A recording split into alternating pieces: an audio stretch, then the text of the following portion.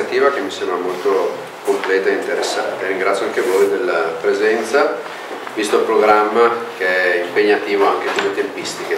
Direi che eh, seguiamo come eh, da programma eh, la scansione del pomeriggio e per quanto riguarda il, il dibattito ovviamente vediamo un po' come viene fuori, eventualmente essendoci una connessione internet potremo anche mh, mm, avere accesso ad alcune delle pubblicazioni di Veneto Agricoltura che non ho portato per motivi di, eh, fisici di, eh, di, di, peso ma che sono ovviamente poi disponibili sia online che, in, eh, che direttamente presso la nostra sede per quelle che sono eh, presenti in versione cartacea. Ecco, eh, come avevo anticipato agli organizzatori, giustamente è stato detto, parliamo di bioenergie, il tema è talmente ampio che eh, evidentemente ogni volta che io devo affrontarlo eh, davanti a un pubblico c'è un, un, problema di focalizzare i temi. Allora io avrei ehm, un po' arbitrariamente scelto di eh, gestire così questo tempo. Eh, facciamo una breve introduzione sul tema delle bioenergie in generale e poi eh, eh, piuttosto che fare una eh, casistica di tipo un po' scolastico, che comunque a, a domanda ovviamente verrà data risposta, ehm, io approfondirò alcuni dei progetti che abbiamo in atto e ho scelto alcuni progetti che eh, soprattutto sono caratterizzati da, una, eh, da un aspetto, che è quello dell'abbinamento fra la produzione di biomassa e delle funzioni eh, particolari del bosco o delle strutture boscate che producono la biomassa. Eh, questo perché come vedrete uno degli assi nella manica eh, del legno, eh, parleremo anche di altre forme di bioenergia, però diciamo che la, la, la linea portante dell'intervento come da previsione è quella del, delle biomasse solide, quindi delle filiere legno-energia. Il legno è eh, la biomassa eh, utilizzabile per produrre energia che dà le maggiori possibilità di eh, interazione e integrazione con eh, delle attività di pianificazione territoriale da una parte e dall'altra eh, di efficacia dal punto di vista eh, delle ricadute di tipo ambientale. Con i problemi che si porta dietro questo aspetto perché come vedremo eh, sullo sfondo c'è sempre e comunque il tema economico, eh, le strutture costa gestirle, eh, producono sicuramente prodotto, il legno, che ha un suo valore, mm, ma quello, il tassello sempre più difficile, difficoltoso, è quello di come valutare ciò che eh, questi interventi restituiscono al territorio in termini eh, di benefici ambientali per la, per la, collettività.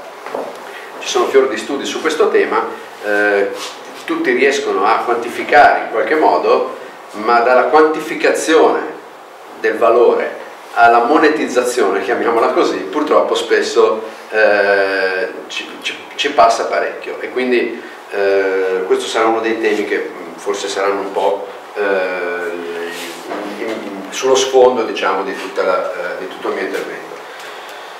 È vero che c'è ehm, il dibattito, quindi vi chiederei tendenzialmente le cose che avete da dire di tenerle per la seconda parte del, del pomeriggio, però è anche vero che se ci sono delle domande puntuali su quello che sto dicendo eccetera vi invito comunque a farle, eventualmente sarò io a eh, riproporle dopo se la risposta risulta essere troppo complessa.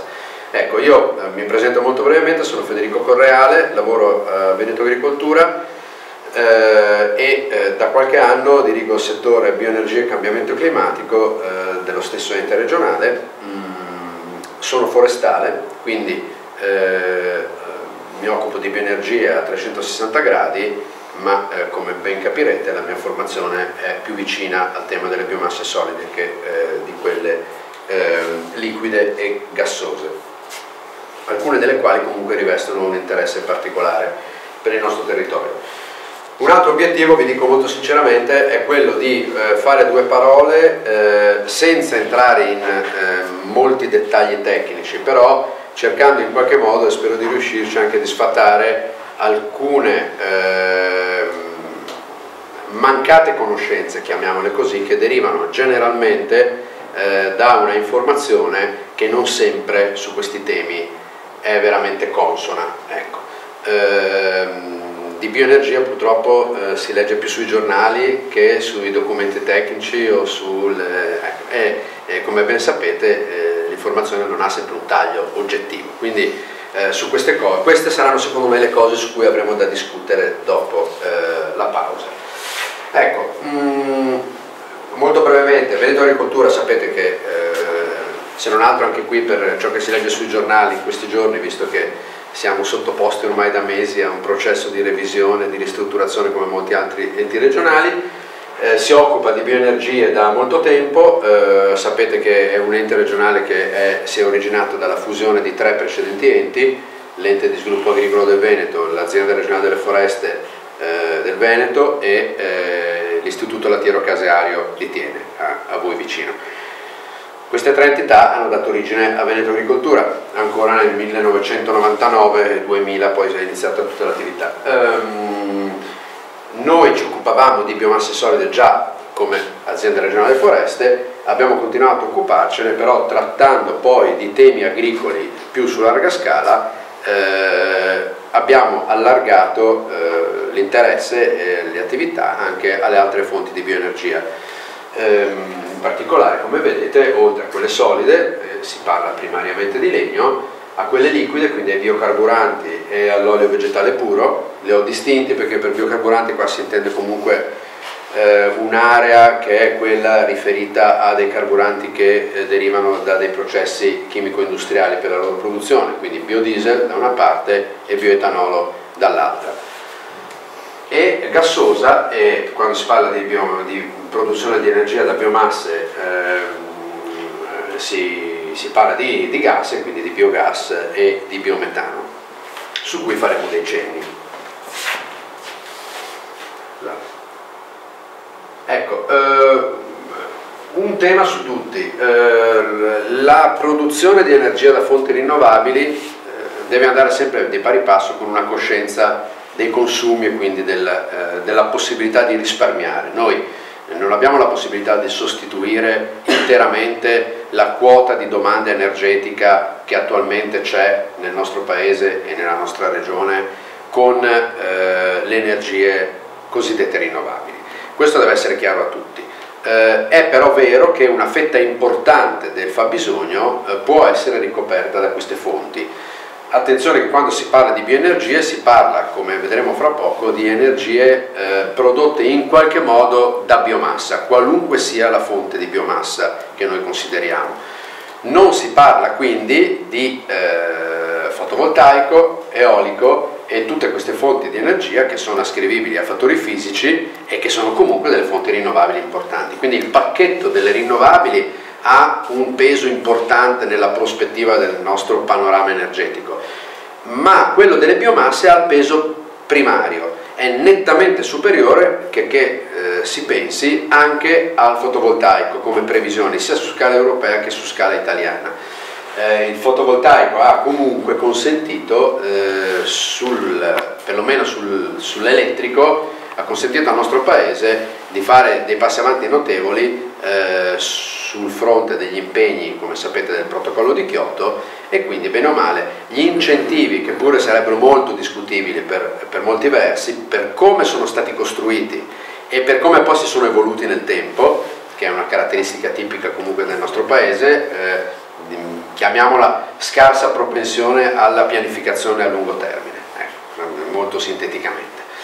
Eh, comunque l'obiettivo è stato ottenuto, cioè l'Italia nel, nel, processo 2020-2020 e soprattutto negli impegni di Kyoto, nei primi impegni di Kyoto, bene o male eh, azzecca il risultato. Ecco, tornando al discorso del, delle eh, bioenergie, eh, le bioenergie hanno la caratteristica, eh, producendo energia da, a partire da biomassa, eh, hanno eh, sostanzialmente due caratteristiche importanti. La prima è che comunque la biomassa si genera nel territorio e quindi nel nostro territorio. Non stiamo comprando il petrolio eh, dell'Arabia piuttosto che eh, stiamo, possiamo comprare della biomassa eh, da paesi stranieri, ma la utilizziamo qua e spesso la trattiamo qua e comunque abbiamo la possibilità di usare la nostra, cosa che non abbiamo con i combustibili fossili. L'altro elemento è che ovviamente il fattore della produzione agricola in senso lato è eh, fortemente interessato dal, eh, da tutte le iniziative di produzione di energia da biomassa, perché eh, bene o male le biomasse si generano o da attività agricole dirette o da attività indirette, ovvero dal mondo eh, dell'agroalimentare, della trasformazione. Una terza categoria che oggi non tratteremo se non proprio toccandola minimamente è quella delle biomasse di provenienza waste, quindi rifiuto, e quindi della frazione umida eh, dei rifiuti solidi urbani, che come ben sapete ha come possibili destinazioni sia la produzione di biogas sia il compostaggio. Ecco. Faremo cenno a queste cose perché uno dei, dei progetti che cito, il progetto che è in corso adesso, è il progetto GR3 che tratta dell'utilizzo di scarti erbacei per la produzione di biogas e quindi entrano in gioco un po' tutti questi ragionamenti. Ecco, eh, è chiaro quindi che l'interazione con l'agricoltura diventa fondamentale e cominciamo anche a capire un altro elemento importante, che eh, eh, l'utilizzo delle bioenergie più che altre forme di produzione energetica eh, può e anzi spesso ha dei, eh, delle ricadute sul fronte della gestione del territorio. Possono essere negative o positive e sul fronte ambientale evidentemente. Quindi sta un po' a noi pianificare eh, le soluzioni in maniera corretta e cercare di utilizzare questa via in maniera più virtuosa possibile, limitando al minimo gli impatti potenzialmente negativi, che come in tutte le attività umane, sottolineo dieci volte, esistono, ovvero qualunque cosa noi facciamo può avere degli impatti negativi. Produrre energia ha degli impatti negativi, eh, far funzionare un motore a gasolio di 40 anni fa ha degli impatti negativi, far funzionare un motore a gasolio uscito ieri di fabbrica ha degli impatti negativi, diversi ovviamente dal primo. Ecco. Eh, fare il falò della veccia eh, nei giorni che voi ben conoscete ha degli impatti negativi. Eh, fare il nostro falò eh, a casa, bruciare i sarmenti ha degli impatti negativi. Tutto ha degli impatti negativi. Si tratta di capire come limitare al minimo e eh, se possibile eh, al di sotto di quelle soglie che si ritengono essere potenzialmente pericolose per la salute dei cittadini evidentemente. Questo è l'obiettivo. È bene eh, eh sottolineare queste cose perché per fare un esempio l'energia che ci appare più pulita che è quella dei pannelli fotovoltaici che mettiamo, che mettiamo sulle, sui nostri tetti è un'energia pulita eh, qui tendenzialmente, si vedrà poi quando si tratterà di smaltire questi pannelli, ma in origine è un'energia che è costata in termini economici e ambientali molto ma molto cara. Eh, i, principali bacini di produzione del, del, del wafer di silicio per produrre eh, i pannelli fotovoltaici sono in Cina, come sapete, e ancora gli stabilimenti cinesi che producono i pannelli eh, producono i wafer funzionano tipicamente a carbone sporco, cioè carbone di prima generazione. Quindi parliamo di migliaia di megawatt che buttano in atmosfera per produrre i nostri bei pannelli puliti. È vero che succede a casa di qualcun altro, però insomma è, è bene che qualche domanda ce la facciamo su, su questi temi. Ecco, um, ci sono tre elementi che noi abbiamo preso eh, in considerazione quando abbiamo iniziato a occuparci di bioenergie e sono tre elementi, alcuni dei quali sembrano scontati ma che voglio ricordare molto bene. Allora, perché noi dovremmo impegnarci dall'agricoltura, Veneto Agricoltura è una struttura che si occupa primariamente di agricoltura, di, di pesca, di, di, gestione del settore primario. No? Eh, noi possiamo farlo se vengono mm, mantenute alcune promesse dal mondo delle bioenergie. Cioè se si verificano tre assunti che lì sono elencati. Il primo assunto importante è al fondamento di tutto, ovvero qualunque filiera per la produzione di energia rinnovabile da fonti eh, di biomassa deve essere sostenibile dal punto di vista energetico. Cosa significa questo? Significa evidentemente che gli input energetici per produrre quell'energia o quel calore, devono essere di molto inferiori agli output che io riesco a ottenere. Cioè, eh, purtroppo ci sono invece molte, molti esempi di bioenergia eh, cosiddetta virtuosa dove queste cose non si verificano. Sembra impossibile perché uno potrebbe dire, beh, eh, nessuno è così stupido da mettersi a produrre energia se eh, quello che spendo per produrla è di più di quello che ottengo. E invece succede, e invece guardate caso succede. Eh, quando io produco energia elettrica, per esempio con un motore eh, in un impianto da biogas, se non recupero il calore, in qualche modo non sto facendo della produzione efficiente di energia. Eh, la stessa legna può in teoria produrre energia elettrica, ma la resa sarebbe molto bassa e in tutti questi casi, a nostro modo di vedere, il gioco non vale la candela, ovvero eh, noi non otteniamo quel eh, rapporto fra input e output che ci consente di dire pratichiamo questa via.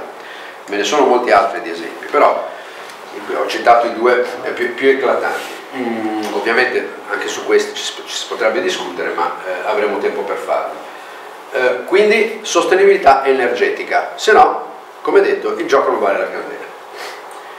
Secondo elemento, abbiamo detto che eh, le bioenergie sono la, il modo per produrre energia che ha la maggior ricaduta sul territorio, bene, allora a noi interessa promuovere e praticare le filiere bioenergetiche che consentono un'elevata sostenibilità ambientale. Dirò di più, eh, le bioenergie consentono degli scenari post filiera che possono essere migliori di quelli pre. Allora, in questi casi a noi interessa, ovvero se io producendo energia rinnovabile miglioro anche il mio territorio, il mio ambiente, allora quelle sono le filiere che ovviamente andrò a promuovere di più.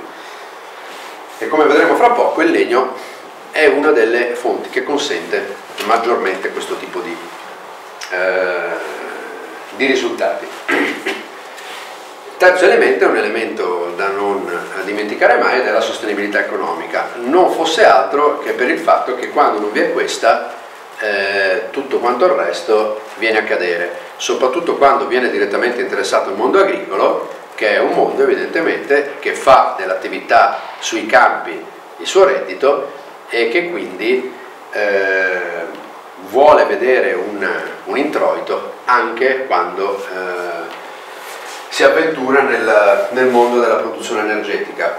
Mm, qui eh, l'aneddoto da, da, raccontare è questo, cioè il, diciamo ogni volta che si produce energia da biomassa ci sono due, eh, due parti che entrano in gioco, chi produce la biomassa e chi la utilizza e produce energia. Eh, alle volte i due soggetti coincidono e sono le situazioni più favorevoli ovviamente, ma, ma purtroppo non le più frequenti eh, ambedue questi soggetti hanno eh, le loro attese. Allora, tipicamente chi produce energia, soprattutto se non proviene dal mondo agricolo, eh, considera la biomassa come uno scarto dell'agricoltura e in quanto scarto eh, la considera valore zero. Non è infrequente eh, vedere situazioni in cui la biomassa proveniente di scarto, proveniente dall'agricoltura, non viene retribuita o addirittura si deve pagare. Basti pensare a quella quota di biomassa che viene considerata rifiuto ad esempio. Se io raccolgo l'erba in un parco pubblico oggi, quell'erba lì è considerata rifiuto, se io la porto in discarica devo pagare. Quindi ho una risorsa, ho sostenuto dei costi per raccoglierla e devo anche pagare per conferirla. Eh? Eh, e d'altra parte chi disegna un business plan per il suo impianto, io domani metto in piedi un pirogassificatore piuttosto che un impianto a biogas, eccetera, nel mio business plan se scrivo eh, erba proveniente da sfalci, eh, scrivo quanto la pago? Zero, anzi ci guadagno e quindi è un grosso vantaggio. Dal punto di vista dell'agricoltore le cose cambiano.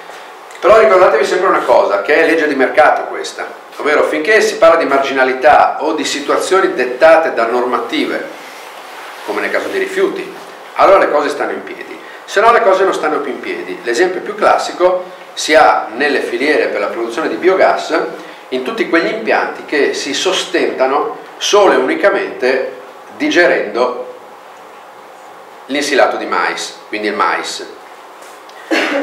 Ve ne sono diversi nella nostra regione che funzionano in questo modo qua, producono dell'ottimo biogas eh, e quando questi signori hanno fatto l'impianto hanno considerato il mais disponibile nell'intorno dell'impianto, hanno detto guardate quanto mais c'è qua, è la principale coltura della nostra regione, eh, glielo pago quello che è il valore di mercato forse anche qualcosa di più, siccome l'incentivo per il biogas molto era molto elevato, i miei conti stanno in piedi. È chiaro però che nel momento stesso in cui io attacco l'impianto a biogas e comincio a cercare il mais nell'intorno, eh, eh, quel mais lì non vale più la cifra che avevo immaginato. Perché l'agricoltore che lo coltiva dice, beh, vediamo un po' dove lo do il mio mais. Devo darlo a te o devo venderlo sul mercato? Se sul mercato mi danno 10, tu mi devi dare 15. E questo ha messo fortemente in crisi i gestori di questi impianti. Sono eh, impianti che si sono basati su un prodotto il cui valore non era preventivabile in buona sostanza, anche lo scarto di valore zero, nel momento in cui serve per produrre un valore, automaticamente assume un valore e chi lo detiene prima o poi può in qualche modo reclamare questo valore. Quindi, risultato di questo ragionamento, mai immaginare dei business plan dove la matrice che entra per la produzione di biomassa vale zero, perché quello è già un errore di fondo. Posso anche disegnare uno scenario del genere, però devo disegnarlo come scenario ottimale, che non è detto che sempre si verifichi. Ecco, se no le sorprese sono eh, dietro l'angolo e si traducono essenzialmente in un risultato, ovvero un prolungamento, nella migliore delle ipotesi, dei tempi di rientro dell'investimento. Mm. E se poi io sono esposto con le banche, capite bene, l'impianto a biogas di quelli che ho citato prima, eh, è un impianto che costa, costava quando sono stati costruiti questi impianti fra i 4 e i 5 milioni di euro, capite bene che sono investimenti che nel mondo dell'agricoltura non sono proprio bruscolini. Eh, quindi rientrare in 4 anni piuttosto che in 8-10 non è proprio la stessa cosa. Quindi questi sono i tre elementi. Se si verificano questi tre elementi, allora noi eh, ci interessiamo della produzione di bioenergie. Se non si verifica uno di questi, anche solo uno di questi tre elementi, eh, la filiera che andiamo a considerare, a nostro modo di vedere, mh, mm, non è una filiera da incentivare particolarmente.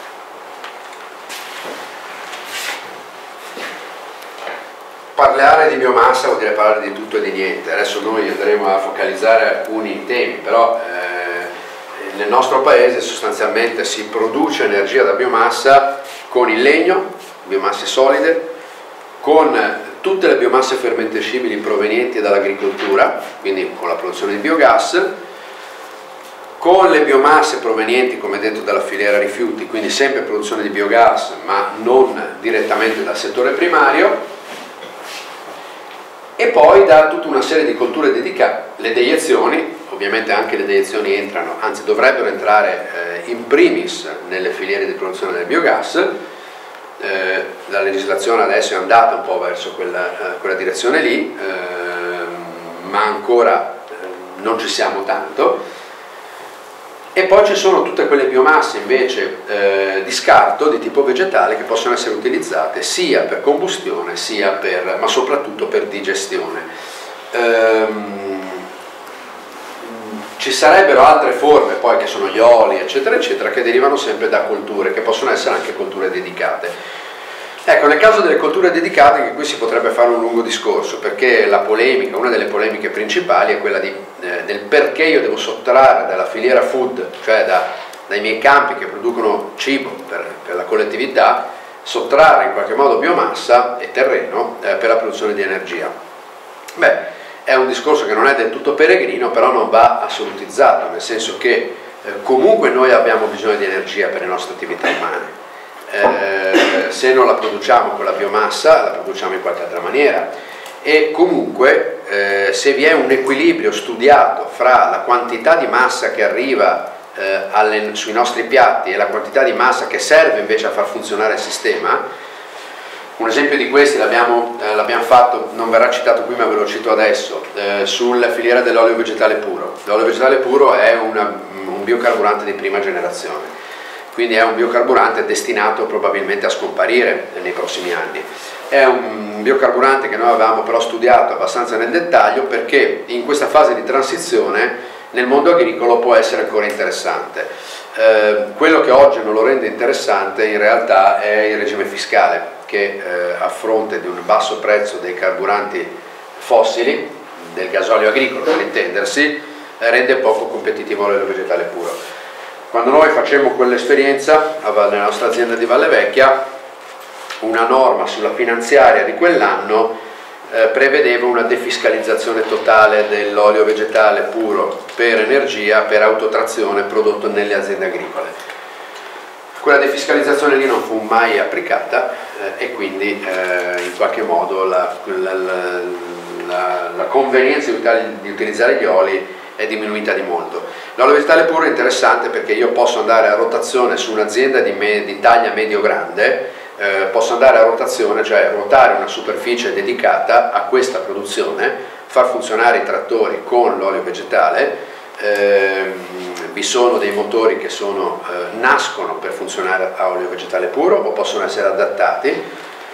Nell'azienda di Valle Vecchia abbiamo testato tutte e due le soluzioni, eh, c'è un trattore, l'ultimo trattore che abbiamo acquistato è un trattore B-Fuel che funziona a gasolio e olio vegetale, nasce in fabbrica così, di produzione austriaca e non è commercializzato in Italia per il semplice motivo che non vi è convenienza usare l'olio vegetale puro, se no sarebbe commercializzato anche da noi. Eh, in questi casi le analisi ambientali sono state, eh, direi, più che sufficienti a eh, giustificare l'utilizzo di questi oli, nel senso che siamo ampiamente sotto eh, i fattori di emissione previsti dalla legge per tutti i motori, quindi non abbiamo un motore che inquina di più dei motori tradizionali, ovviamente se parliamo di motori moderni, non di trabicoli di 50 anni fa, perché l'olio vegetale puro non è una novità di oggi, è stato utilizzato già. Noi utilizzammo il colza il colza per un motivo preciso, che sul colza, eh, proprio per gli aspetti di tipo ambientale e di emissioni, eh, c'è una norma, eh, un, una norma di qualità sostanzialmente eh, che noi abbiamo dovuto seguire, mentre su altre fonti come ad esempio il girasole, che produce anche un ottimo olio, non vi sono dei parametri di legge specifici e non è stato un gioco da ragazzi perché eh, abbiamo prodotto olio vegetale in azienda, l'olio vegetale era a norma UNI e a norma DIN, il che significa che eh, rispettava tutti i parametri ambientali di emissione e soprattutto mi dava la possibilità di ottenere la garanzia del produttore sul motore, perché il motore a olio vegetale viene garantito solo se si utilizza un olio certificato in qualche modo e quindi lì la partita stava abbastanza in piedi. Però devo dire che lì eh, l'evoluzione come avrete anche probabilmente letto qualcuno di voi che è un po' più addentro tecnicamente magari ne sa anche più di me mm, l'evoluzione va verso i cosiddetti eh, biocarburanti di seconda generazione che provengono dalla trasformazione eh, non solo dei, prodotti in pieno campo ma anche delle lignine che come sapete hanno dei grossi problemi a essere trasformate eh, per via della loro resistenza proprio alla degradazione batterica.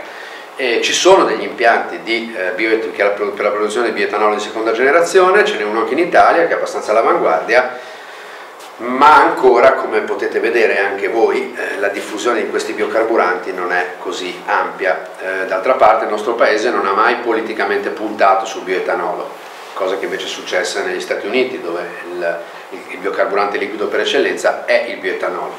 Eh, da noi si è puntato sul biodiesel mixato con il diesel tradizionale, come ben sapete, e comunque parliamo di filiere che io oggi non tratterò, ma non perché non siano interessanti, ma semplicemente perché sono filiere che attingono la biomassa dal mondo dell'agricoltura, ma poi la fanno fluire nel mondo dell'industria e quindi bene o male non abbiamo una ricaduta diretta sul nostro territorio nella gestione di queste biomasse. Può essere certo interessante per il produttore e basta.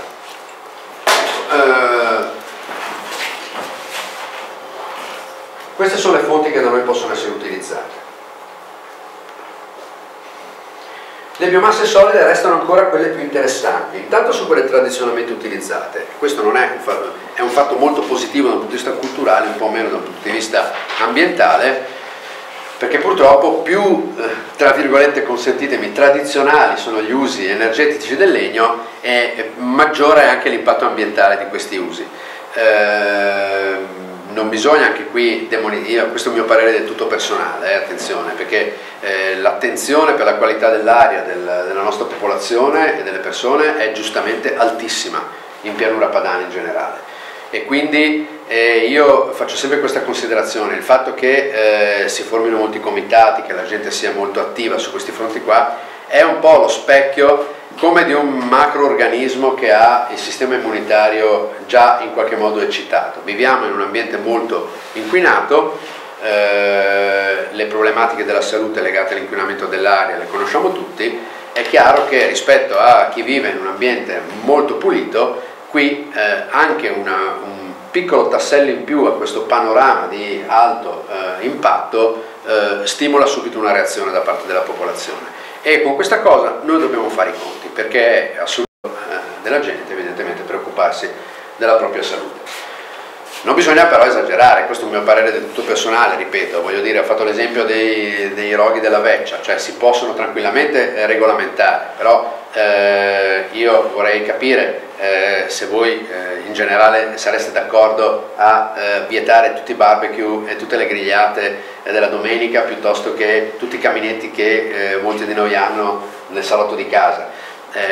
Diciamo che in alcuni contesti questi possono essere fonti di inquinamento anche molto importante. Sono dei contesti montani di valle dove le caldaie che riscaldano le case tradizionalmente e i caminetti producono eh, una quantità di particolato eh, veramente impegnativo dal punto di vista della, della gestione sanitaria proprio. Eh. Ci sono molte modalità per abbassare in maniera drastica questi impatti, soprattutto le modalità principali passano attraverso un miglioramento degli impianti e un ammodernamento degli impianti, questo c'è poco da fare.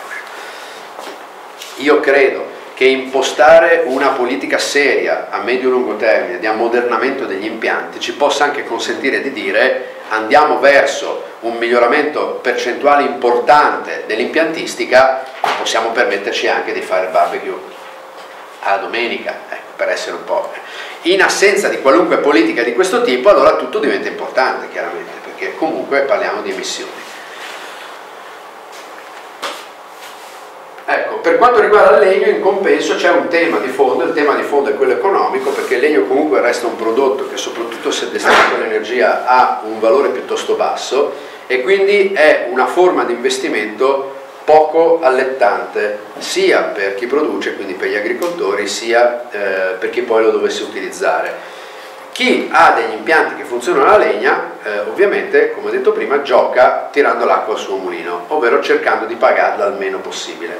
Siccome il mercato lo fanno i grossi impianti e non i piccoli impianti, è chiaro che la presenza di pochi grossi impianti tradizionalmente ha influenzato in maniera importante il prezzo al mercato di questo materiale. Come vedremo qui il fattore qualità è il fattore essenziale, perché se il grande impianto può mangiarsi quasi qualunque tipo di biomassa, mh, mm, garantendo del, eh, una sostenibilità ambientale accettabile, il medio-piccolo impianto invece eh, ci presenta uno scenario del tutto diverso, ovvero la sostenibilità ambientale del piccolo e medio impianto, che è poi quello che interessa a noi perché sono gli impianti che noi promuoviamo di più, eh, passa in maniera diretta e importantissima attraverso la qualità della biomassa che lo alimenta.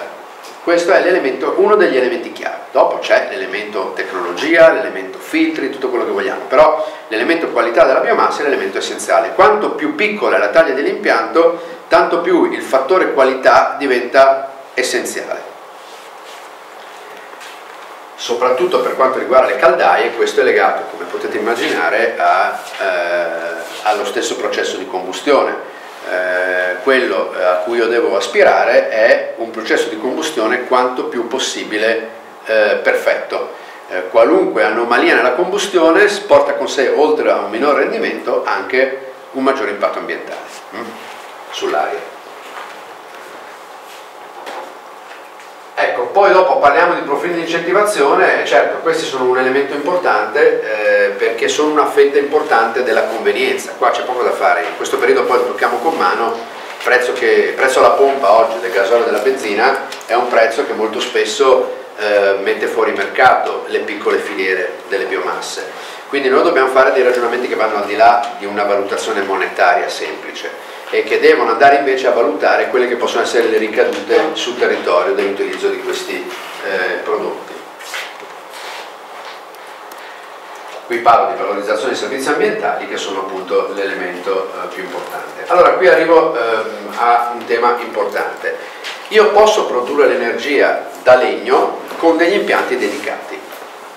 Significa che io prendo, faccio un impianto da legno oppure decido che un'area di bosco di mia pertinenza, di mia proprietà verrà destinata alla produzione di biomassa e eh, cosa che solitamente non si fa perché dal bosco ovviamente ci si attende eh, una produzione di maggior qualità, ma la nostra pedemontana è sostanzialmente al 100% composta da cedui o da cedui invecchiati o da cedui abbandonati, quindi parliamo di boschi che per secoli sono stati utilizzati per la produzione di biomassa. Diciamo che tutte le volte che io prelevo della biomassa di questo tipo eh, ho ovviamente un reddito a fronte di un costo. Eh, nella buona parte delle situazioni di questo tipo, eh, quelle boschive quasi sempre, il recupero della biomassa eh, marginale è sempre un recupero impegnativo da un punto di vista eh, economico, se non altro per la morfologia dei nostri boschi. Noi non siamo in foresta nera dove abbiamo centinaia di migliaia di ettari quasi in piano, mh? Mm, o nel nord della Svezia dove posso lavorare con degli harvester eh, che non si fermano mai né di giorno né di notte. Abbiamo delle situazioni eh, dove la quantità di biomassa in gioco e i costi per portarla all'utilizzazione finale eh, spesso mettono fuori gioco questa, eh, questa fonte. Ciò nonostante non bisogna nemmeno generalizzare, ci sono molte situazioni dove eh, un'adeguata cantierizzazione forestale consentirebbe di portare fuori del materiale. Qui eh, il gioco economico spesso sta nella gestione della filiera. Se è una gestione dove io eh, raccolgo, produco e vendo e c'è qualcuno che compra e brucia o comunque utilizza, è più difficile far tornare i conti. Se invece eh, le parti sociali in gioco si mettono, scusate il gioco di parole, eh, si mettono in gioco per ehm, utilizzare questa biomassa, eh, il ritorno economico diventa più interessante. È lo stesso esempio dell'autoconsumo. Se io ho un boschetto e ho una stalla, per intendere, sto facendo un esempio a caso, e mi voglio riscaldare la casa, più magari la stalla nelle, nei periodi più eh, freddi, e metto una bella caldaia a biomassa e compro la biomassa, eh, probabilmente non ho nessuna convenienza una caldaia a biomasse di ultima generazione ha un costo che varia da 2 a 4 volte quello di una caldaia di analoga potenza a metano. Capite che uno dice ma perché devo spendere 2-3 volte quello che spenderei col metano? In un paese come il nostro che è il più metanizzato d'Europa, ormai voglio dire, il metano arriva quasi dappertutto. Lo posso fare solo in alcuni... Se il bosco però è mio e io mi recupero il materiale, lo metto in caldaia e faccio i conti, eh, verifico che, quella, eh, che quello che utilizzo di fatto è una biomassa che mi dà un valore di sostituzione, non è un valore di mercato. Anche se io spendessi il 5% in meno alla fine di tutta la storia rispetto al gasolio o al metano, a me converrebbe. A me converrebbe. Eh, mentre invece sul fronte del eh, do des di mercato spesso i conti non tornano e qui entrano in gioco gli incentivi da una parte e dall'altra eh, la valorizzazione dei servizi ambientali che anche se non monetizzata dovrebbe essere ben presente nelle politiche di gestione del territorio, perché se io ho un impianto cui, che mi migliora alcuni parametri ambientali del mio territorio e in più mi produce un, un prodotto periodicamente che in qualche modo può essere monetizzato e che anche solamente va ad abbattermi i costi di gestione di questa struttura, eh, io politicamente potrei anche fare un calcolo di convenienza a fare questa cosa. Eh? Ad esempio io realizzo un impianto di protezione da una, da un, da una grande arteria stradale o autostradale piuttosto che da una zona eh, artigianale che mi dà un impatto sulla popolazione, io ottengo un risultato. Se poi da quella fascia boscata lì riesco anche a ritrarre della biomassa commerciabile, utilizzabile, capite che il risultato diventa duplice. Mm? Ed è un po' di queste cose che adesso parleremo.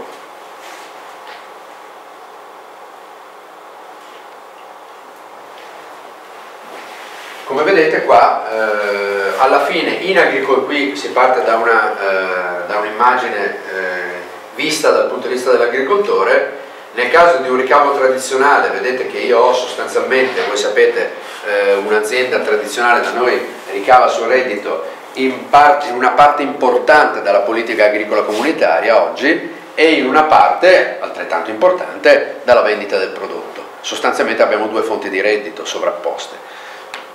Attenzione che la famosa PAC da noi è una politica che negli anni è andata sempre di più a premiare le attività cosiddette agroambientali e mano a mano a ridurre quelli che sono i cosiddetti premi unici, prima legati alla coltura, poi alla superficie e così è un processo questo che non si arresterà anche con, nuova, con il nuovo eh, ciclo di politica agricola comunitaria. Comunque quello è il reddito dell'agricoltore.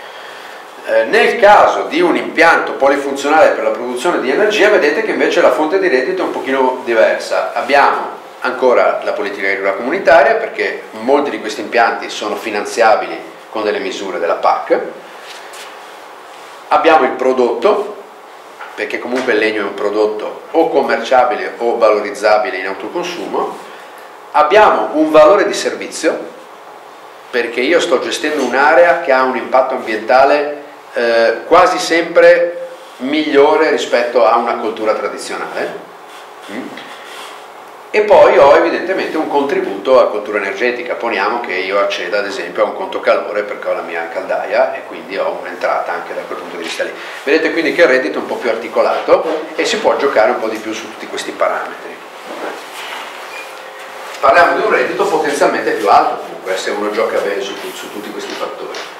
Ecco, le, gli impianti multifunzione sono una possibile soluzione interessante per cercare di lavorare bene su tutte eh, queste componenti del reddito e per avere un vantaggio reciproco eh, sia sul fronte dell'agricoltore che produce la massa sia sul fronte eh, di chi la utilizza sia sul fronte delle amministrazioni sia su quello dei cittadini.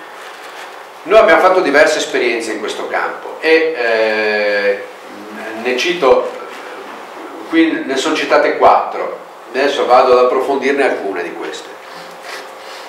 Di tutte queste avete già sentito parlare, se non altro leggendo i giornali. Adesso spero di darvi qualche informazione in più rispetto a quella che si è eh, in qualche modo letta o assorbita con la lettura della stampa che comunque auspico sempre che si faccia, eh? leggere i giornali è sempre una cosa positiva. Eh, un tema è quello delle fasce tampone boscate, si intenda per fascia tampone boscata un'area non necessariamente lineare, ma tendenzialmente lineare, eh, che consente di eh, migliorare la qualità dell'acqua in entrata eh, e avere un'acqua quindi qualitativamente superiore in uscita dal sistema. Mm? Eh, si chiamano fasce tampone per questo, sono, eh, si basano su delle teorie e su delle eh, sperimentazioni che ormai è decenni che vengono svolte in tutto il mondo. Devo dire che noi in Italia e noi nel Veneto in particolare ci siamo fregiati di essere probabilmente fra quelli in Europa che hanno lavorato di più su questo tema e quindi possiamo veramente dire la nostra una volta tanto. Eh? Eh, qualcuno ha detto che le fasce boscate fitodepuranti presenti nel eh, provincia di Venezia ehm, che sono state gestite di comune accordo fra Veneto Agricoltura e il eh, consorzio di bonifica ora acque risorgive eh, siano uniche adesso eh, qualcuno l'ha sparata ma chi l'ha sparata è un luminare uniche al mondo non è così. Sicuramente in Europa non ci sono molte esperienze di questo tipo Lì parliamo di 30 ettari dedicati al finissaggio delle acque provenienti dal fiume Zero, che vengono derivate dal fiume, passano attraverso una fascia boscata, adesso vedremo come, e restituite poi al fiume. Quindi parliamo di fasce tampone boscate e il tipo di inquinamento su cui agiscono queste fasce primariamente è un inquinamento diffuso di origine agricola o eh, urbana, ma primariamente agricola, perché eh, tipicamente i nutrienti di origine agricola dovuti al, eh, all'apporto di nutrienti con le concimazioni sono poi fonte di inquinamento in laguna, voi sapete, le alghe, la, le fioriture, eccetera, eccetera. Mm, in realtà queste fasce hanno anche un effetto positivo su altri elementi, ehm, per esempio gli anticritogamici, e eh, ci sono molti studi sull'effetto delle specie legnose anche a carico di alcuni inquinanti di tipo industriale non parleremo di questo perché lì parliamo di impianti di depurazione in aree industriali e siamo un po' fuori tema, diciamo. però sappiate che eh, vi sono molti studi anche in questo campo, ad esempio sul trattenimento dei metalli pesanti, eccetera, eccetera. Ehm, secondo tema è quello delle aree forestali di infiltrazione, tema che è stato fonte di polemiche abbastanza al calor bianco, proprio qua in provincia di Vicenza. Mm, d'altra parte è anche vero che la provincia di Vicenza è stata leader mm, eh, è stata la provincia che eh, ha ospitato questi esperimenti, quindi sarebbe stato difficile che le polemiche nascessero in aree dove le aree di infiltrazione non esistevano. Eh, le aree di infiltrazione ci sono, sono alcune piccole aree su cui abbiamo fatto diversi anni di sperimentazione e abbiamo direi una conoscenza piuttosto approfondita, che qui, lo dico senza tema di smentita, si allontana di molto da quello che è stato riportato dalla stampa. Mm? Cioè la realtà dei dati è diversa da quella che abbiamo letto tutti. Su alcune cose sono più sfumato, su altre sono più deciso. Vi sono poi le cosiddette aree ad alluvionamento programmato che citeremo molto brevemente, che sono una variante delle cosiddette casse di espansione.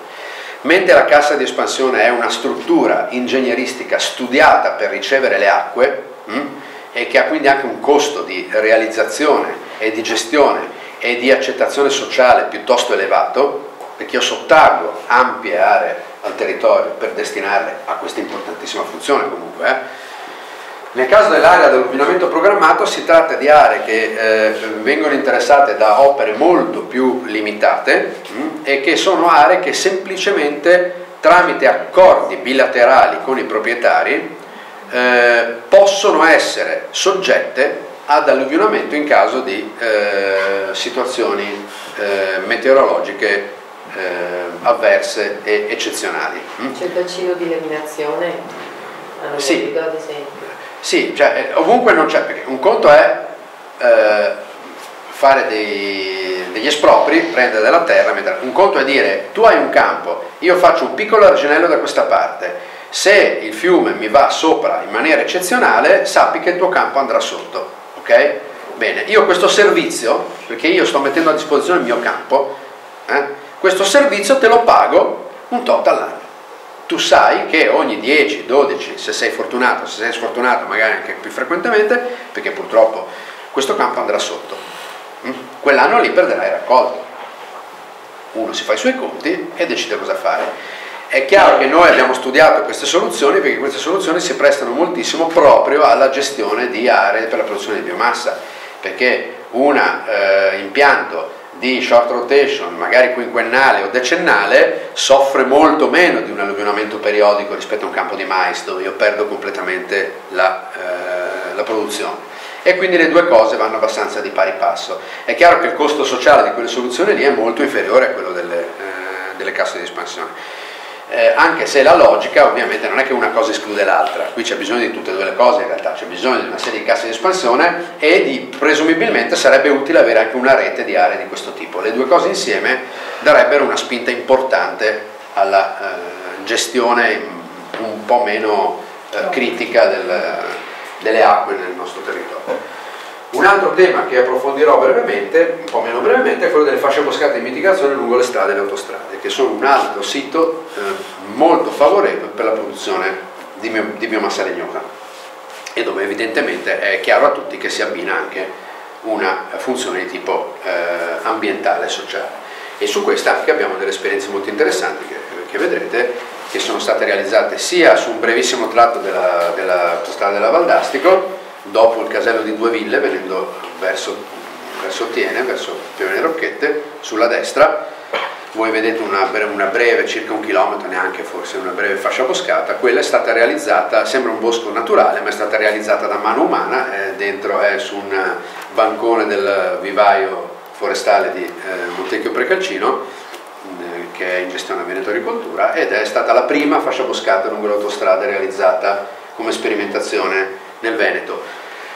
Eh, c'è un altro chilometro e mezzo che è stato realizzato sul passante di Mestre, è un po' evoluto rispetto a questo modello di, eh, di Piovene di, di Due Ville, eh, perché come potete immaginare eh, si progetta, si sperimenta e dopo si progetta di nuovo facendo tesoro eh, dell'esperienza, quindi le facce boscate che abbiamo realizzato sul passante sono un po' diverse da queste e eh, stiamo ragionando adesso nuovamente sul passante perché eh, a distanza di anni abbiamo la soddisfazione di venire interpellati perché evidentemente certe soluzioni che si erano ipotizzate, conti alla mano, sono migliori di alcune soluzioni che invece sono state praticate.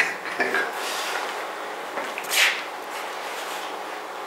Allora, eh, short rotation forest ed acqua negli ambienti planiziali. Eh, allora, io vi eh, faccio breve, un breve escursus su questo discorso delle short rotation forestry perché è un tema importante dal punto di vista tecnico. Produrre eh, biomassa dal legno significa evidentemente avere una quantità elevata di legno in poco tempo, perché se io ho delle specie che crescono tanto e mi danno tanta massa in poco tempo, ovviamente eh, ho un vantaggio economico. Le specie che tipicamente producono legni duri interessanti dal punto di vista della combustione, quelle che compongono i nostri cedui di montagna per intendersi, sono specie che hanno dei turni piuttosto lunghi. Eh, viaggiamo intorno ai 12, 15, 20, quando non di più, anni. È chiaro che in un contesto di gestione forestale pianificata, e qui attenzione è fondamentale il discorso della, della pianificazione forestale e non ancora si è compreso molto questo. E in Italia lo si comprende sempre meno perché in Italia purtroppo i profili eh, pianificatori, come ho detto all'inizio, sono brevi. La pianificazione forestale invece ha tempi lunghi o lunghissimi, cioè io devo scrivere oggi quello che penso che succederà fra 50 anni o fra 100 anni. Eh, pensate che i piani di gestione del Pino Lariccio Corsicano in Corsica eh, prevedono un turno per alcune aree di 200 anni. Mm? Io vi assicuro che ogni anno le squadre di forestali corse, non dico francesi perché qualcuno eh, ecco, sono francesi, entrano in bosco e buttano giù piante che da noi ci sarebbe gente che si incatena, buttano giù piante di 200 anni, perché è previsto dal piano. L'anno dopo entrano se non proprio l'anno dopo, e buttano giù altre piante di 200 anni, ovvero il bosco tutti gli anni ha un certo numero di piante di quell'età da tagliare. Loro non si preoccupano di tagliarle perché eh, il bosco continua a rigenerare materiale e sempre c'è del materiale che ha quell'età lì. Mm? Il cedo ha dei tempi molto più brevi evidentemente, però eh, il poter gestire il nostro territorio con dei piani di assestamento eh, con dei piani di utilizzo che eh, tutti mh, mm, tutte le proprietà forestali dovrebbero avere, ma non tutte hanno, garantisce evidentemente un'utilizzazione un ottimale di, questo, di, questa risorsa.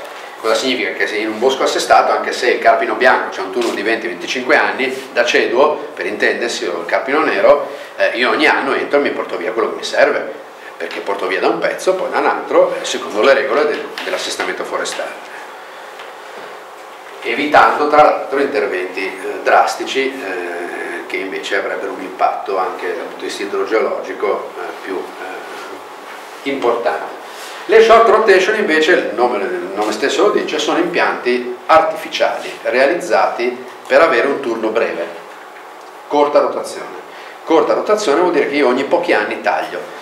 Questi sono impianti realizzati di solito con specie a veloce crescimento, le specie principe per questi impianti qua sono i pioppi e i salici, esistono esperienze anche con molte altre specie, ma direi che queste sono anche quelle che... La canna? Sì, eh, anche con la canna, ma io adesso sto citando le specie arboree, però ci sono tutta una serie di specie dedicate, c'è la canna, l'arundo, c'è il, il, miscanto, ci sono tutta una serie di eh, colture dedicate, però lì la cultura dedicata alla biomassa, se volete poi ne parliamo brevemente, abbiamo fatto degli, parecchi studi su questo, bisogna capire cosa è teoria e cosa è pratica, ovvero sapere che il miscanto è una specie che produce tantissimo, o la canna, e che è molto interessante, eh, non vuol dire che io pianifico di fare centinaia di ettari di canna eh, sul, sul, mio territorio, devo fare una serie di altre valutazioni, sia di tipo tecnico, perché non tutte queste biomasse poi sono eh, facili da utilizzare negli impianti. Eh, faccio l'esempio della canna, la canna è molto interessante, però eh, insieme al miscanto sono specie che producono una gran quantità di ceneri, eh, hanno un contenuto in silicio molto elevato, quindi portano a una eh, usura eh, delle caldaie piuttosto veloce. Quindi si sta studiando su come utilizzare al meglio questi, questi prodotti. Noi cerchiamo di favorire il legno perché il legno è più facilmente, il legno intendo le specie arboree, e arbustive perché sono più facilmente inseribili nel nostro territorio in maniera non impattante sia dal punto di vista paesaggistico che proprio anche ambientale della, della biodiversità eccetera. Però esistono e come le altre culture eh, dedicate. Eh, d'altra parte una short rotation di pioppo biennale è uguale a un impianto di canna, vuol dire è un impianto totalmente artificiale Ecco, noi abbiamo un po' identificato la cosiddetta short rotation forestry con quelle cose che voi vedete in giro ogni tanto, con i pioppi fittissimi che ogni due anni vengono tagliati. No? La short rotation biennale è una delle tante forme di short rotation ed è una forma che ha preso piede ancora negli anni 70 in, un po' in Nord America, un po' in Nord Europa, lì hanno fatto parecchie sperimentazioni. Eh, qui faccio una piccola polemica, se eh, ha preso piede negli anni 70 in queste due aree, dove hanno investito tanto in eh, ricerca e, eh, e eh, adesso lo fanno così in pochi, ci lì ci sarà un motivo evidentemente. Eh, in realtà la short rotation biennale è un sistema quasi industriale di produrre eh, biomassa ed è un sistema che prevede una scansione dei tempi e delle tecniche assolutamente rigoroso, da cui non si può minimamente sgarrare. Cosa che è molto difficilmente gestibile a livello di un'azienda agricola nostra, perché un'azienda agricola che pianta un biennale di pioppo mh, mm, può avere mille motivi per cui al secondo anno non può entrare a tagliare. Piove troppo, non ha la disponibilità delle macchine, eh, ha altre cose da fare, è fuori coi conti e non riesce a chiamare il terzista per fare il lavoro, eh, semplicemente ha altre cose più importanti o più redditizie da fare. Il risultato è che questi impianti qua, eh, quando realizzati da noi, eh, complice anche la scarsità di attrezzature per trattarli, di macchine che tagliano la short rotation specializzate in Italia, fino all'anno scorso ce n'erano credo 5 in tutta Italia. Mm capite che diventa un oligopolio delle, attrezzature per cui sia dal punto di vista economico sia dal punto di vista dell'utilizzo diventa complicato poi utilizzare.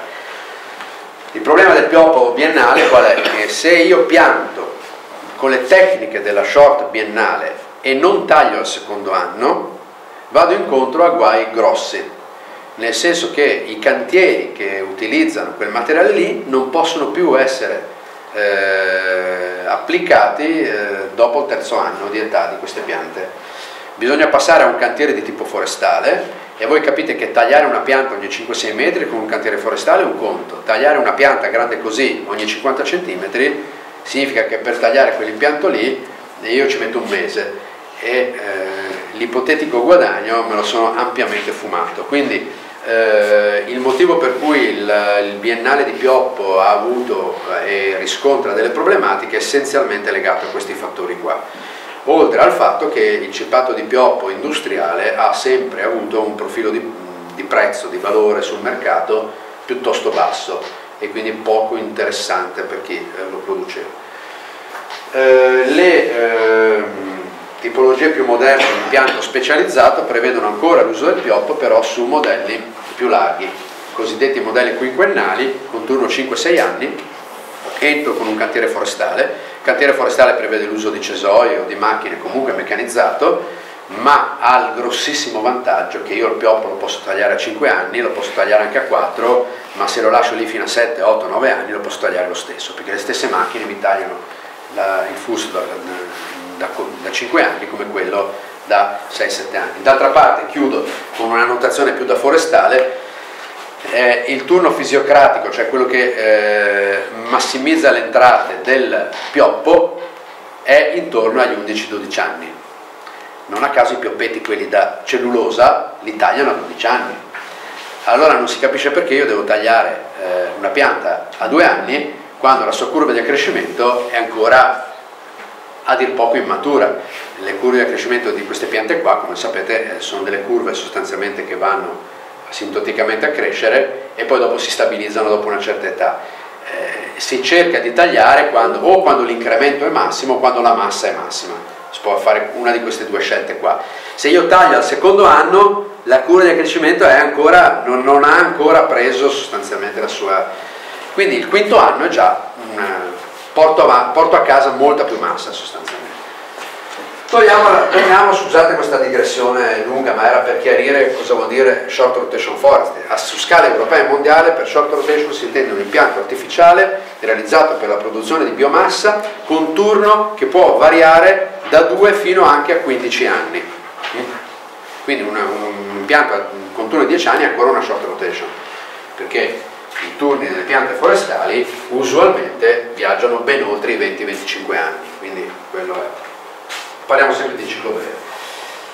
L'importante di queste cose è che gli alberi hanno eh, un grosso vantaggio, oltre a quello di produrre biomassa, che interagiscono in maniera molto positiva con l'ambiente circostante.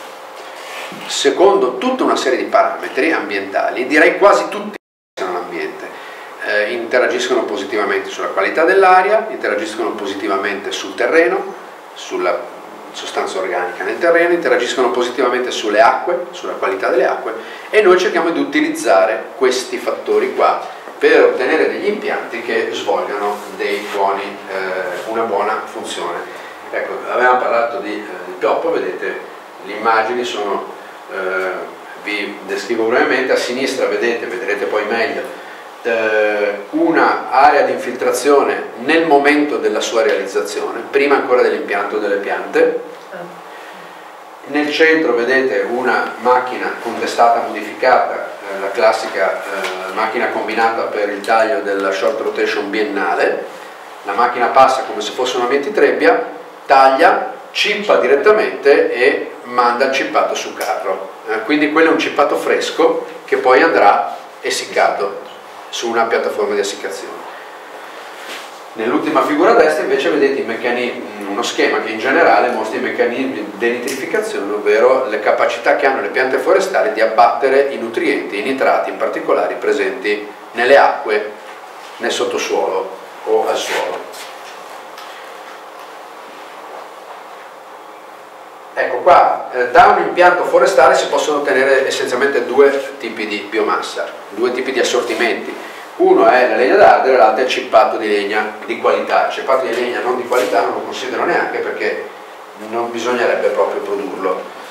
Vi è poi un altro tipo di materiale che è di scarto, che è quello che proviene dagli scarti, dalle ramaglie e aggiungo anche ovviamente, eh, scusate, da... Eh, eh, dalla risulta dei cantieri forestali in, in, montagna, che comunque si traduce in ramaglie. Eh, C'è un grande interesse sul tema dell'utilizzo degli scarti, eh, noi ci stiamo ragionando, ci darò poi un progetto che sta partendo proprio adesso e che potrebbe interessare proprio voi perché riguarda un gruppo di comuni non, non distantissimo da qua. E, su cui stiamo ragionando appunto del recupero della biomassa anche dal bosco. Il problema grosso degli scarti e delle ramaglie è duplice. Uno è di tipo tecnico.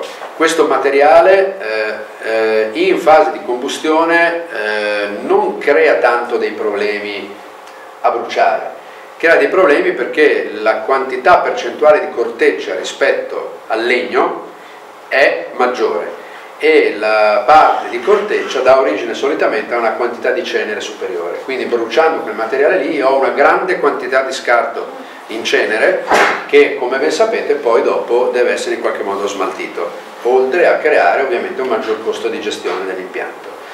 Eh, si, si, suggerisce sempre quando si utilizzano questo tipo di scarti eh, di eh, miscelarli con del cippato di maggiore qualità oppure di utilizzarli in impianti di taglia medio-grande, dove comunque la combustione è a temperatura più elevata e la gestione delle ceneri gioco forza bisogna farla, perché se ho la mia caldaietta e tutti, ogni due ore devo tirare fuori la cenere è un conto, se ho un grosso impianto di solito ci sono gli estrattori automatici di cenere e quindi mi sono già posto il problema di cosa fare della cenere. Anche lì il tema però sarebbe molto lungo da discutere perché entriamo ad esempio nel campo del riciclo del, degli scarti di alcune produzioni importanti come quelle del vigneto. Eh, e lì se volete poi ne possiamo parlare, eh, le, sermenti del vigneto hanno questi tipi di problemi, però è anche vero che eh, la quantità di questo materiale che è necessario in qualche modo ogni anno qualche modo smaltire è talmente alta che soluzioni di tipo energetico sono comunque auspicabili rispetto a quelle praticate oggi che sono sostanzialmente la bruciatura diretta.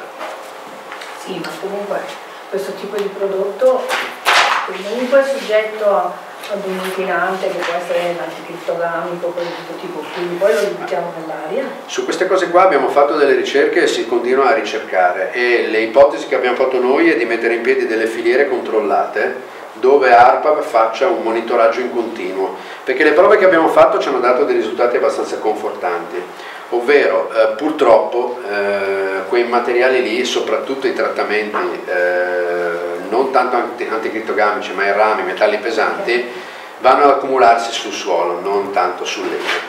Eh, nel momento noi abbiamo fatto l'analisi delle ceneri e del legno, l'ha fatto ARPA e non abbiamo trovato dei grandi quantitativi di questo tipo, sono tutti sotto soglia di legge.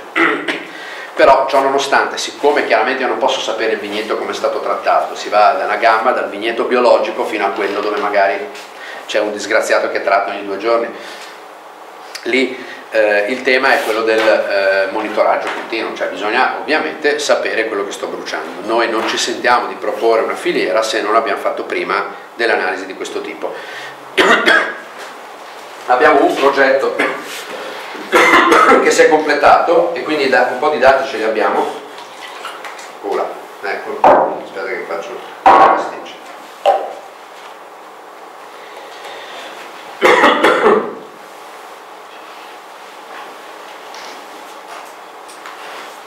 Il progetto ci ha mostrato appunto un impatto non, non importante e non ce l'aspettavamo onestamente perché eravamo partiti con l'idea di trovare, di trovare maggior, maggiori residui. Comunque è chiaro che, parliamoci chiaro, qua parliamo di scenari, qui di scenari ce ne sono tre. Uno, il sarmento lo brucio, e l'immissione in atmosfera è ovviamente la peggiore che possiamo immaginarci perché non ho solo gli anticritogamici ma ho anche le diossine, tutto quello che succede quando ho una combustione a cielo aperto. Due, faccio una combustione controllata in una caldaia di ultima generazione, ho dei filtri, ho un controllo della combustione, quindi ho un impatto molto inferiore monitorando i fattori che lei ha citato. E il terzo è portare la roba in discarica, così falliscono tutte le, le cantine. Eh? Perché quindi non è, cioè, eh, a, a, me spiace essere un po' drastico su queste cose, ma noi dobbiamo finirla di ragionare per assoluti, dobbiamo ragionare di scenari. Il mio lavoro è sostituire a uno scenario uno scenario migliore e dopo domani ne avremo uno ancora migliore. Quello è l'obiettivo. Non possiamo immaginare di non avere più energia o di avere l'energia pulita. L'energia pulita della serie no emission non esiste. Purtroppo non esiste anche solo respirando noi stiamo inquinando l'atmosfera che ci sta intorno. Siamo fatti così. Eh, quindi eh, bisogna essere abbastanza chiari su questa cosa qua.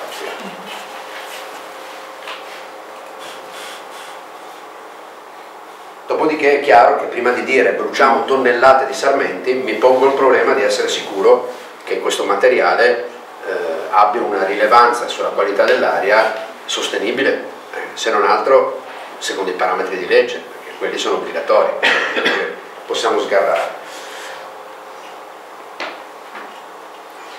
Ecco, nelle fasce tampone boscate si verifica invece una, eh, un fenomeno qui che è abbastanza interessante, che è questo.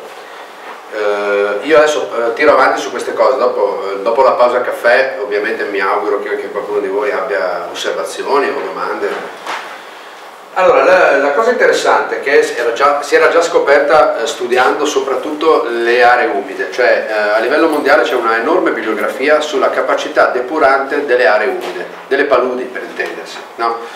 Eh, laddove il bosco è un bosco allagato, in presenza quindi di acqua, si era notato appunto che eh, c'è un'attività di eh, depurazione dell'acqua circostante. Noi abbiamo, siamo partiti da, queste, eh, da questa bibliografia scientifica e abbiamo provato a immaginare di creare noi le condizioni perché questo si verificasse. Questo avviene perché immaginando che io ho dell'acqua che attraversa le radici delle piante arboree, anche delle piante erbacee, non è che non... Eh, anche, ehm, cioè, questo avviene per qualunque tipo di pianta verde.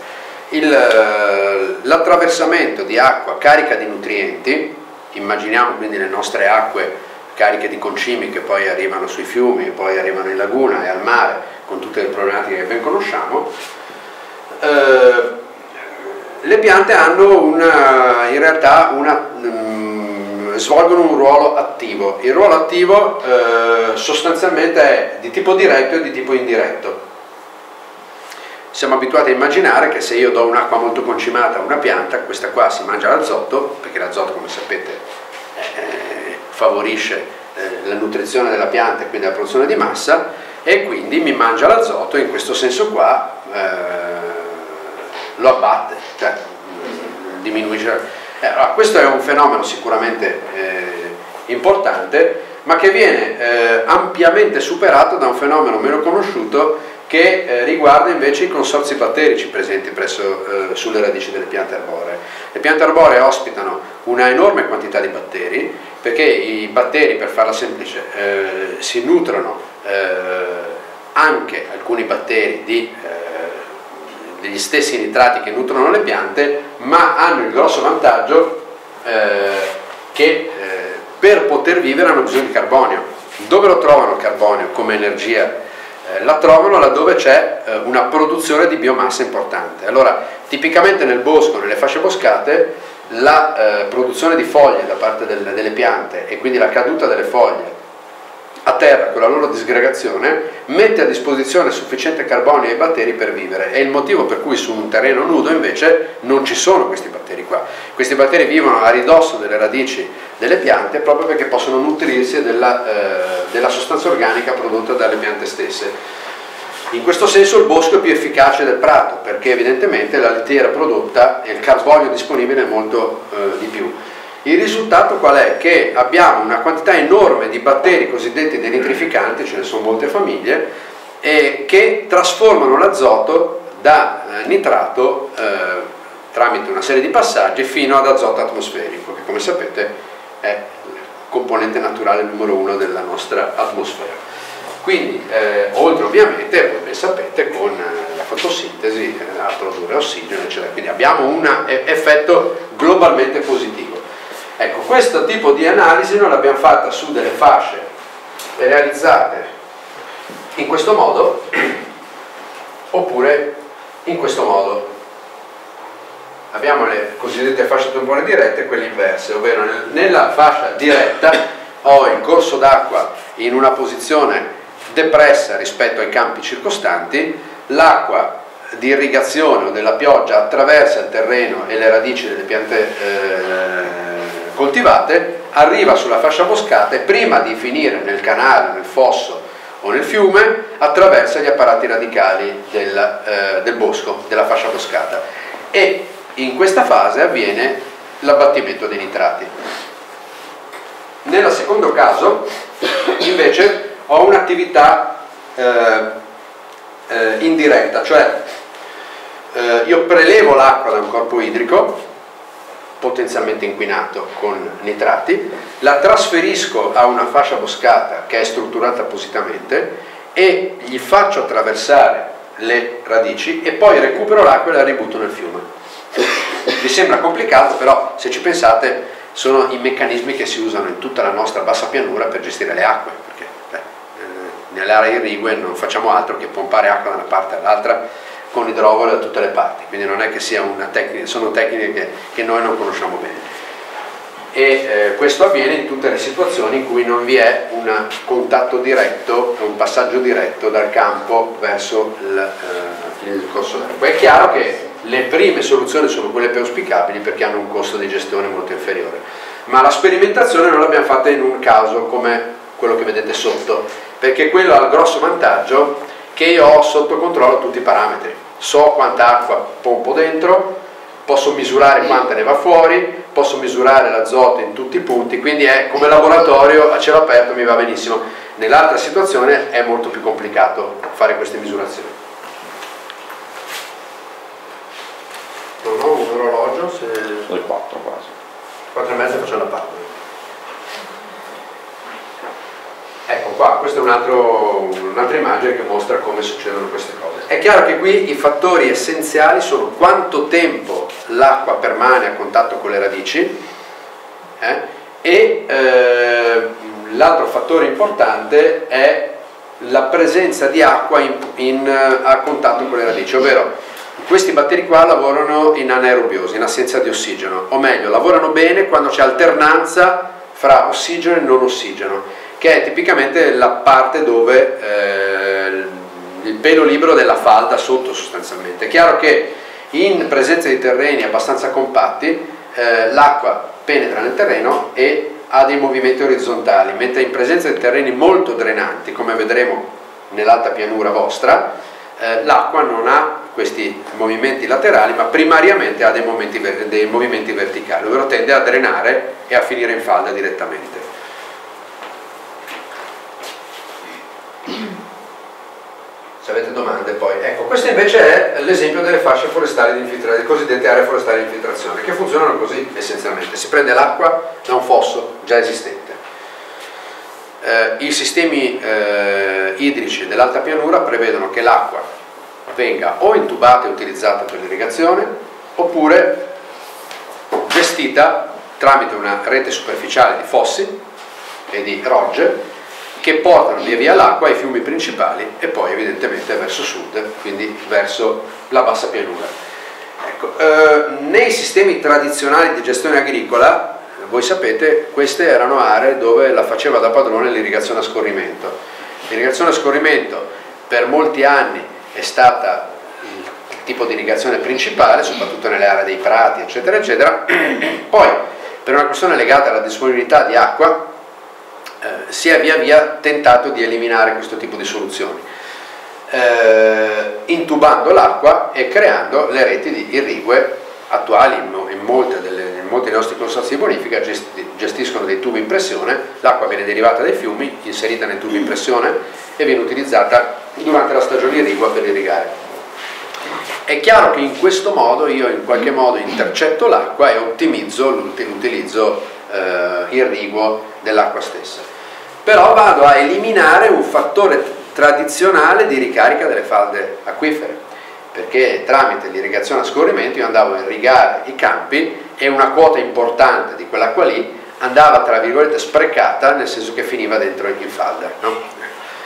noi abbiamo cominciato a ragionare di sistema globale cioè il sistema globale è un sistema dove mh, mm, non è che ci sia uno spreco o una l'importante è intercettare l'acqua quando ci serve e non averla tra i piedi quando non ci serve, questo è il concetto di fondo. Eh. la prima cosa è più facile, la seconda un po' meno. Eh. In queste soluzioni cosa succede? Io derivo l'acqua da un fosso, in periodo non irriguo, quell'acqua lì che fine farebbe? Finirebbe in un grande fiume, ipotizziamo il Brenta piuttosto che in altre zone, l'Adige, eccetera, e finirebbe al mare quasi direttamente. In questo modo l'acqua viene sottratta dal terreno e sottratta dalla falda, cioè quell'acqua lì non finirà mai in falda, soprattutto se parliamo di canali rivestiti, ovviamente. No? Se parliamo di canali invece eh, naturali, tra virgolette, a fondo naturale c'è comunque una certa dispersione. È chiaro che non tutta l'acqua dispersa finisce in falda, alcuna parte di questa finisce nuovamente nei fiumi, il sistema è complesso, ma sto semplificando molto.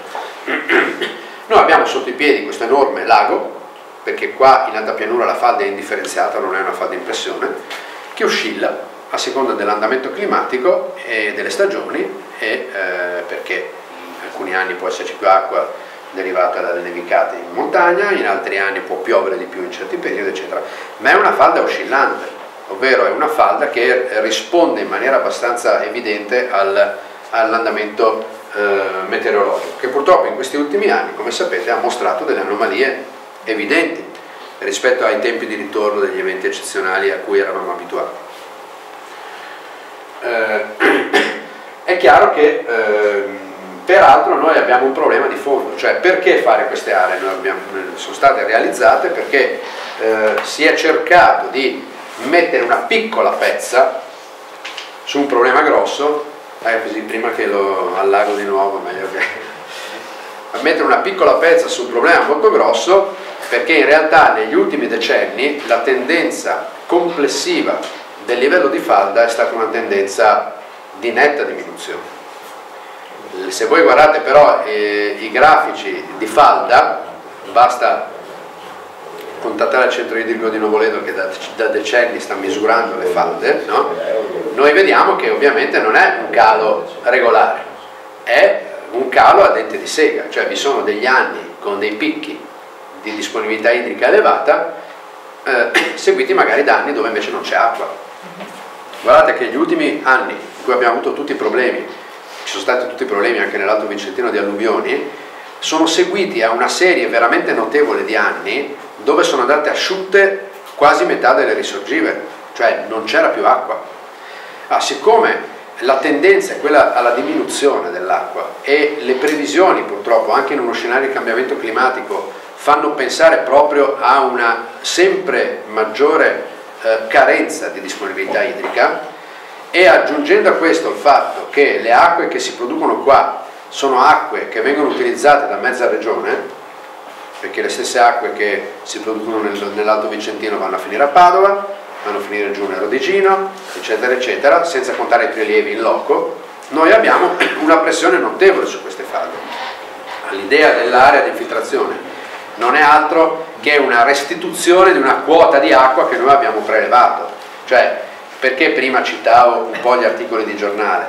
Perché eh, è onestamente ridicolo pensare che con delle opere di questo tipo noi possiamo sensibilmente eh, influenzare il livello di milioni e milioni e milioni di metri cubi di falda. Cioè, noi andiamo a compensare una parte dei prelievi e degli utilizzi che noi facciamo sostanzialmente. Non possiamo con questo sistema combattere il cambiamento climatico, sia chiaro, perché sennò sarebbe anche troppo bello, ma purtroppo non è così. Ecco. Dopodiché purtroppo succede questo, che se per anni e anni le falde sono molto basse, eh, è una vera pacchia, nel senso che posso costruire, posso fare, posso fare tutto quello che voglio, i miei cantieri non pompano niente perché posso scavare le fondamenta, non succede niente, eccetera, eccetera. Anche in zone magari di risorgiva dove l'acqua storicamente nei periodi di eh, forte piovosità sfiora il livello del terreno.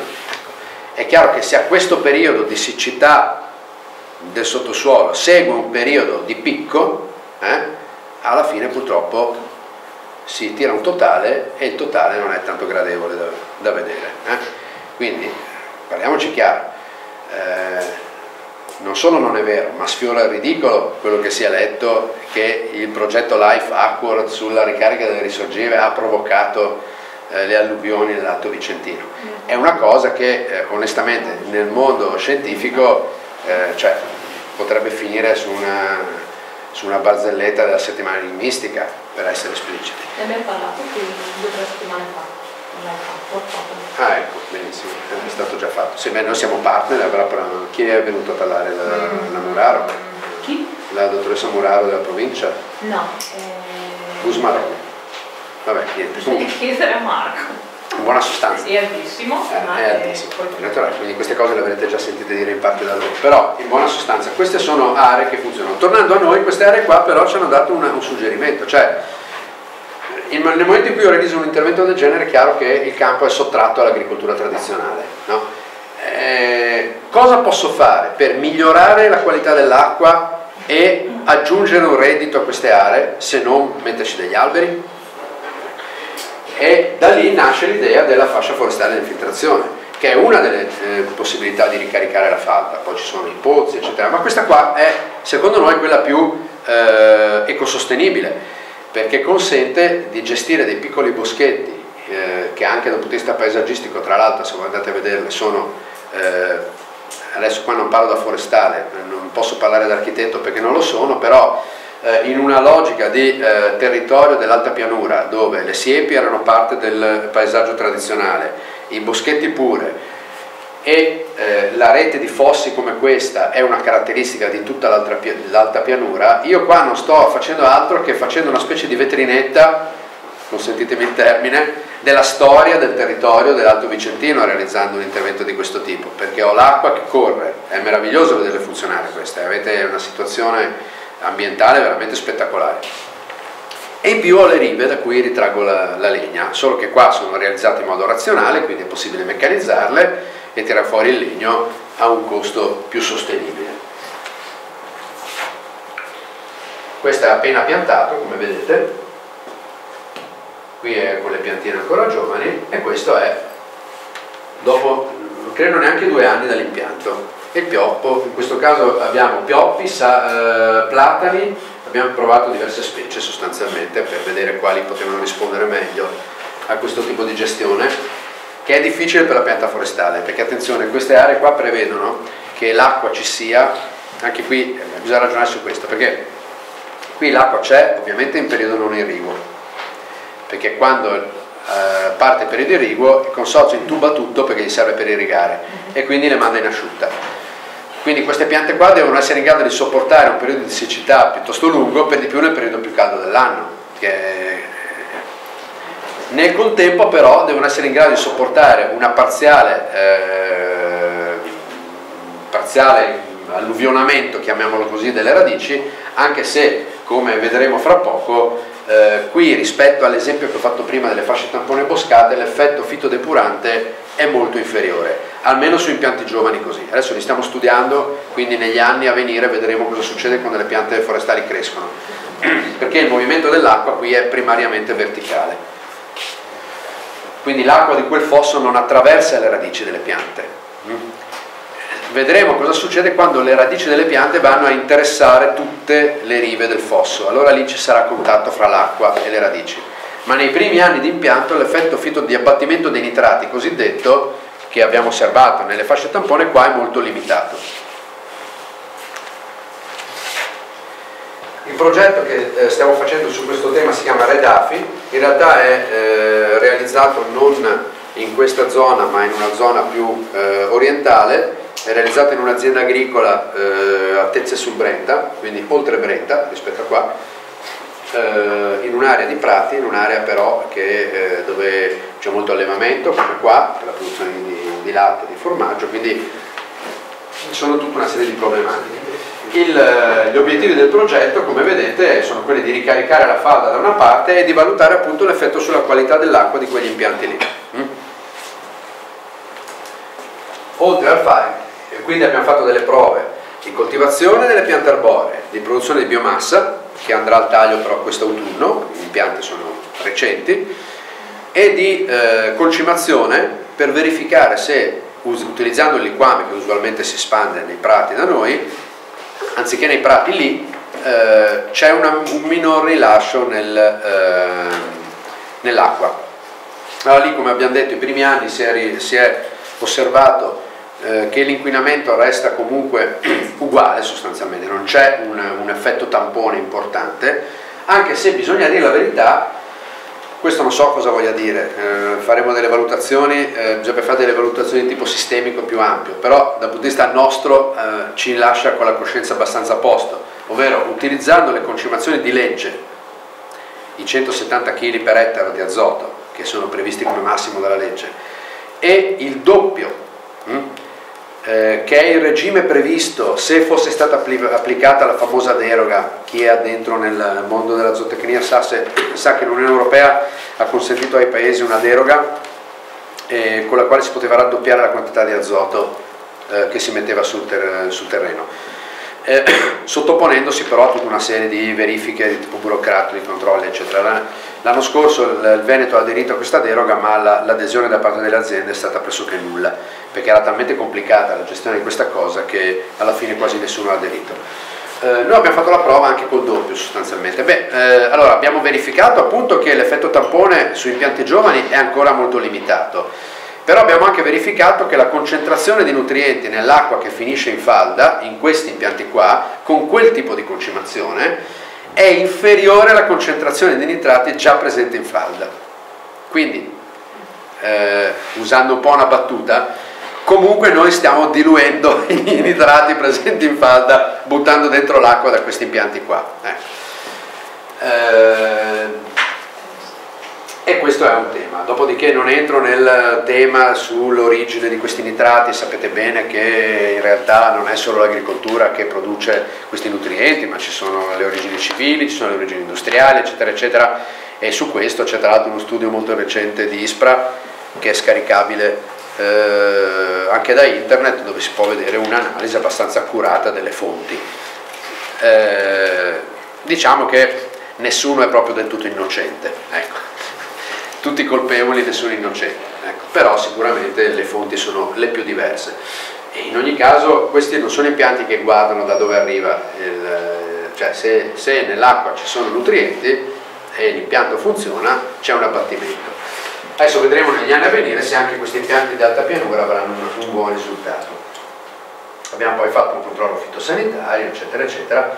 Ecco, la misurazione del, del, dell'infiltrazione è interessante, cioè su queste aree qua in piena funzionalità si infiltra, come vedete, 0,8 eh, milioni di metri cubi per ettaro anno, che è una quantità considerevole, che è sempre una quantità, come dicevo, irrisoria rispetto alla massa di acqua che c'è nel sottosuolo, ma comunque mostra una, una certa efficacia nel, nel, restituire alla falda eh, acqua. E forse questo numero, che è un numero che oggettivamente fa impressione, che ha in qualche modo stuzzicato anche eh, le varie polemiche, perché questo è un numero misurato, eh? quindi se volete dare, eh, è stato riportato recentemente da un articolo scientifico pubblicato su una rivista internazionale, quindi che deriva dalle nostre prove. Quindi diciamo il primo numero, al di là di quelli che si leggono da tutte le parti, che si può dire scientificamente misurato. Ecco, questo qua invece è il concetto di aree ad alluvionamento programmato.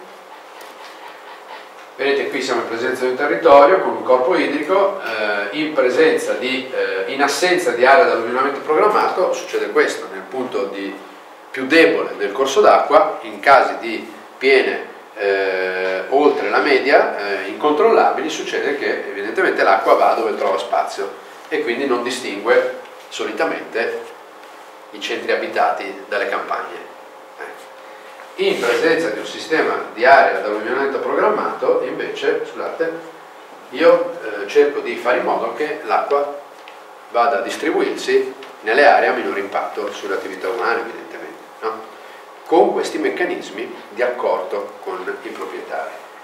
Quella non è una, evidentemente una eh, cassa di espansione, perché sennò avrei dovuto eh, sequestrare centinaia di ettari, però, però, è chiaro che una soluzione di questo tipo, eh, diffusa su tutto il territorio, perché poi il problema nostro grosso è che la rete idrica è complessa, cioè non, noi non abbiamo un territorio senza niente con un grande fiume che ogni tanto esonda noi abbiamo un territorio ricco di piccoli corsi d'acqua dove le criticità sono dietro ogni angolo e dove i punti critici di esondazione potenzialmente possono essere moltissimi.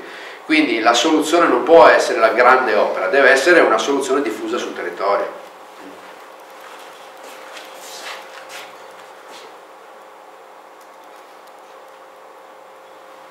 Qua sono le cose che ho già detto.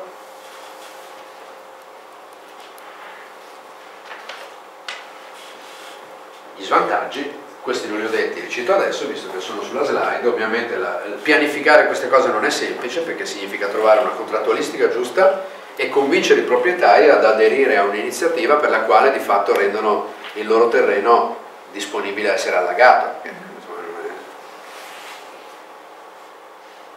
Comunque ci sono dei costi di manutenzione di esercizio e vabbè, poi dopo qua è citata la, comunque una legge che consente effettivamente in teoria considererebbe degli sgravi di contributo di bonifica, ma è una delle tante eh, modalità che si potrebbero attivare per finanziare questi interventi.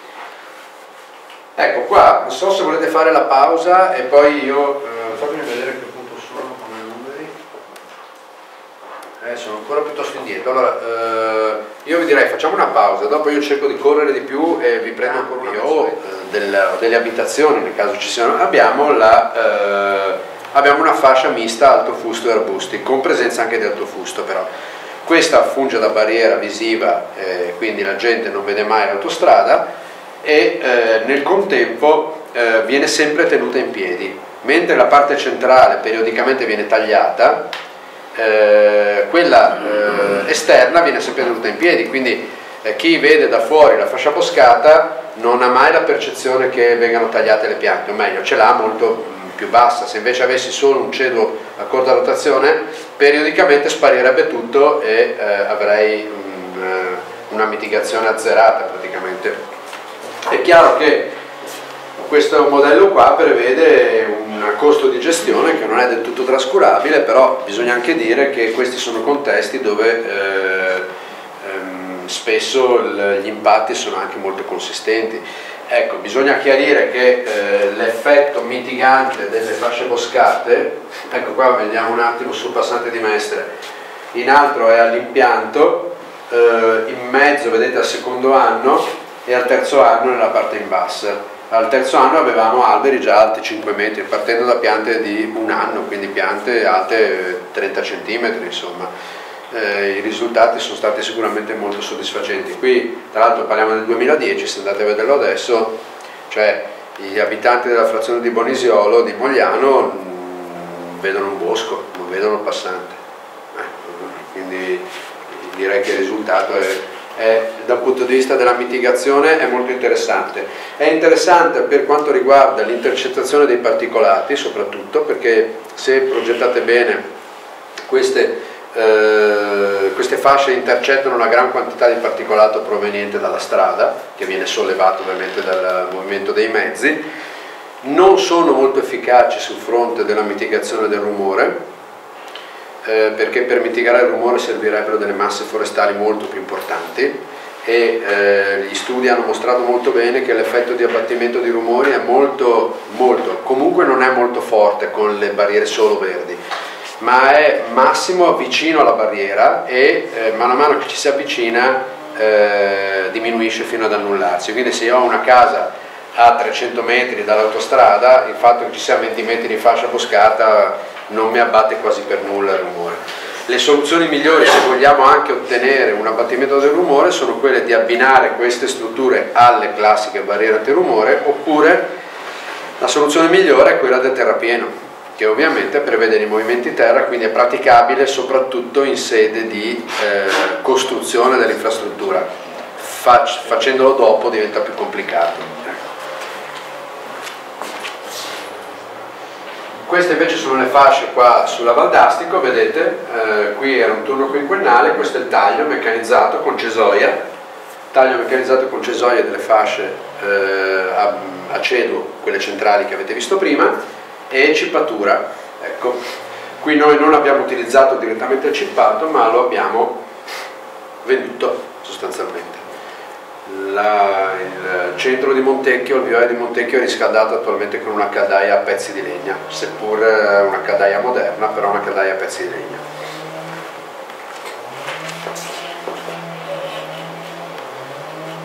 Ecco qua alcuni numeri che sono interessanti, cioè vedete che eh, queste ovviamente sono delle, delle, simulazioni del tutto teoriche, però danno una misura di quanto, eh, di, di, cosa stiamo parlando, voglio dire, qua eh, abbiamo un potenziale sulle, solo sulle, sulle, autostrade a pagamento esistenti nel Veneto di oltre 1300 ettari, cioè, eh, ipotizzando tra l'altro di eh, utilizzare per queste fasce solo il 50% della superficie realmente disponibile, perché è ovvio che non è che puoi bordare il 100% delle autostrade questa roba qua, quindi, e tra l'altro utilizzando fasce di 10 metri, quindi mh, mm, potrebbero essere anche più larghe se ci fossero. Qui avevamo fatto, vedete, un po' di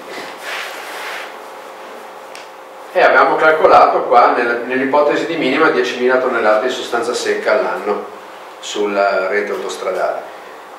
Di sostanza secca quindi e poi qua vabbè, arriviamo a 30.000 nel senso che abbiamo fatto una serie di scenari di diverso tipo però anche fossero 10.000 sarebbero interessanti significa circa 65 megawatt termici minimo eh, gestibili con quella rete lì praticamente la meccanizzazione di queste fasce qua avviene con, eh, con, questo tipo di mezzi, chiaramente sono mezzi piuttosto importanti come dimensioni, però consentono evidentemente un, un risparmio delle operazioni notevole. Qui abbiamo una, una, casistica abbastanza ampia di cantieri forestali per il taglio di queste fasce.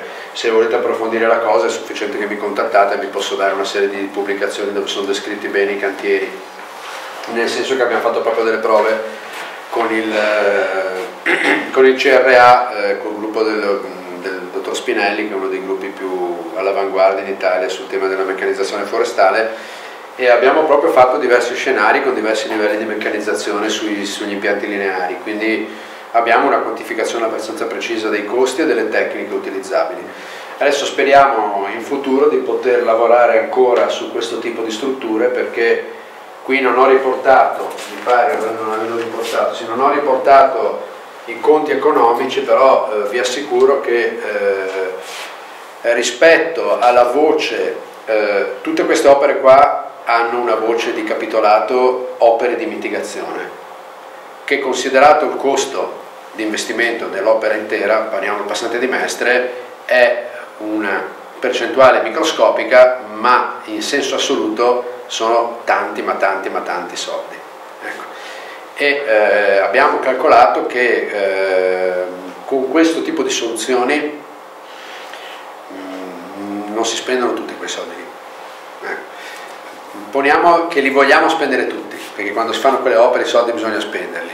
Eh, possiamo veramente risolvere il problema eh, della mitigazione di un'opera con semplicemente i denari presenti già nella, eh, nel capitolato d'appalto, senza considerare possibili soluzioni che comunque avevamo valutato, perché eh, su situazioni tipo il passante o tipo autostrade a pagamento, per realizzare le fasce boscate di mitigazione su tutta la superficie, su tutta intendo dire ovviamente dove è possibile realizzarle, anche volendo ricaricare i biglietti di pedaggio, che è una cosa che ovviamente le società autostrade vedono come la peste assoluta, stiamo parlando di ricarichi veramente irrisori, cioè sul, sull'intera tratta dell'A4 avevamo calcolato se dovesse fare il caso eh, qualcosa come 2 o 3 centesimi eh, di biglietto in più, ripaga non solo l'impianto, ma ripaga anche il mancato reddito eventualmente degli agricoltori che dovessero mettere a disposizione, cioè lo, la stessa somma che prenderebbero dal PSR se facessero, che so, una misura siepe boschetti. Quindi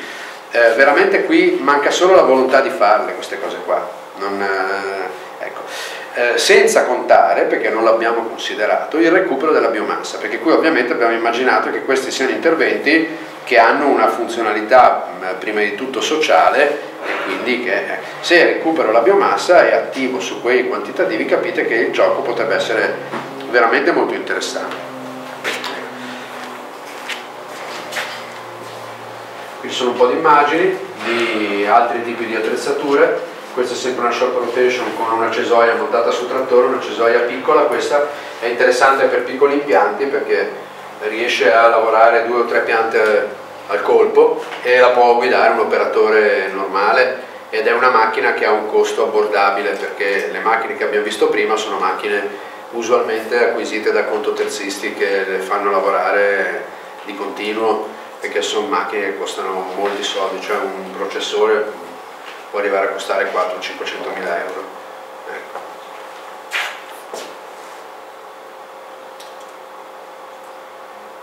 qui sempre tipologie diverse di cesori, vedete.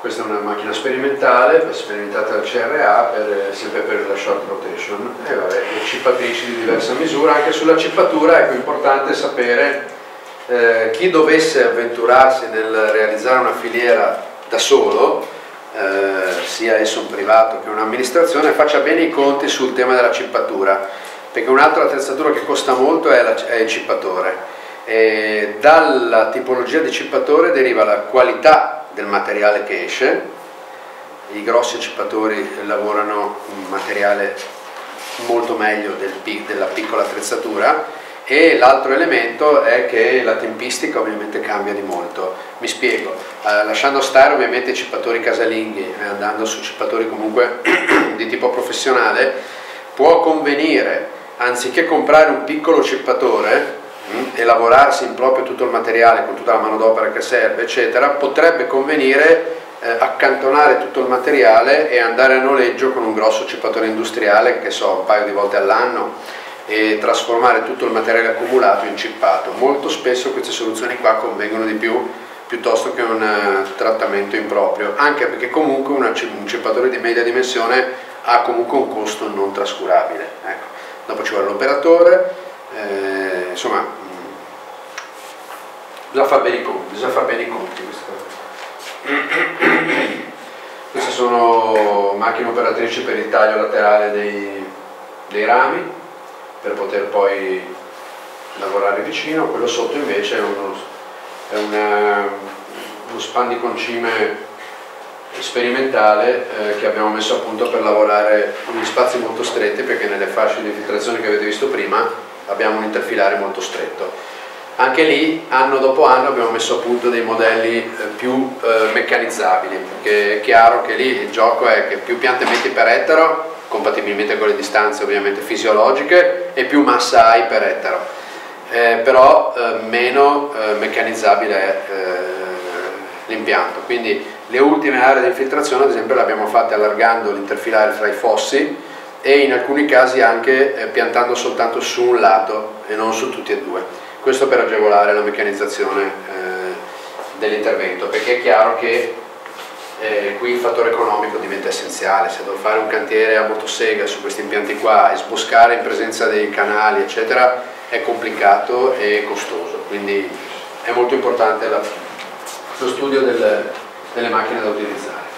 Ecco, qua faccio un cenno veloce alle biomasse erbacee, abbiamo un progetto eh, attivo su questo tema che è si chiama GR3 eh, che invece eh, analizza eh, la filiera dell'erba recuperata da aree marginali con finalità di produzione di biogas.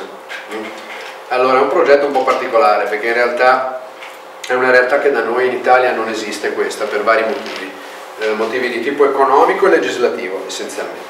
L'erba raccolta in ambito agricolo dagli agricoltori la legge la considera un sottoprodotto dell'agricoltura e quindi può essere eh, tranquillamente eh, dirottata direttamente a un digestore anaerobico per produzione di biogas.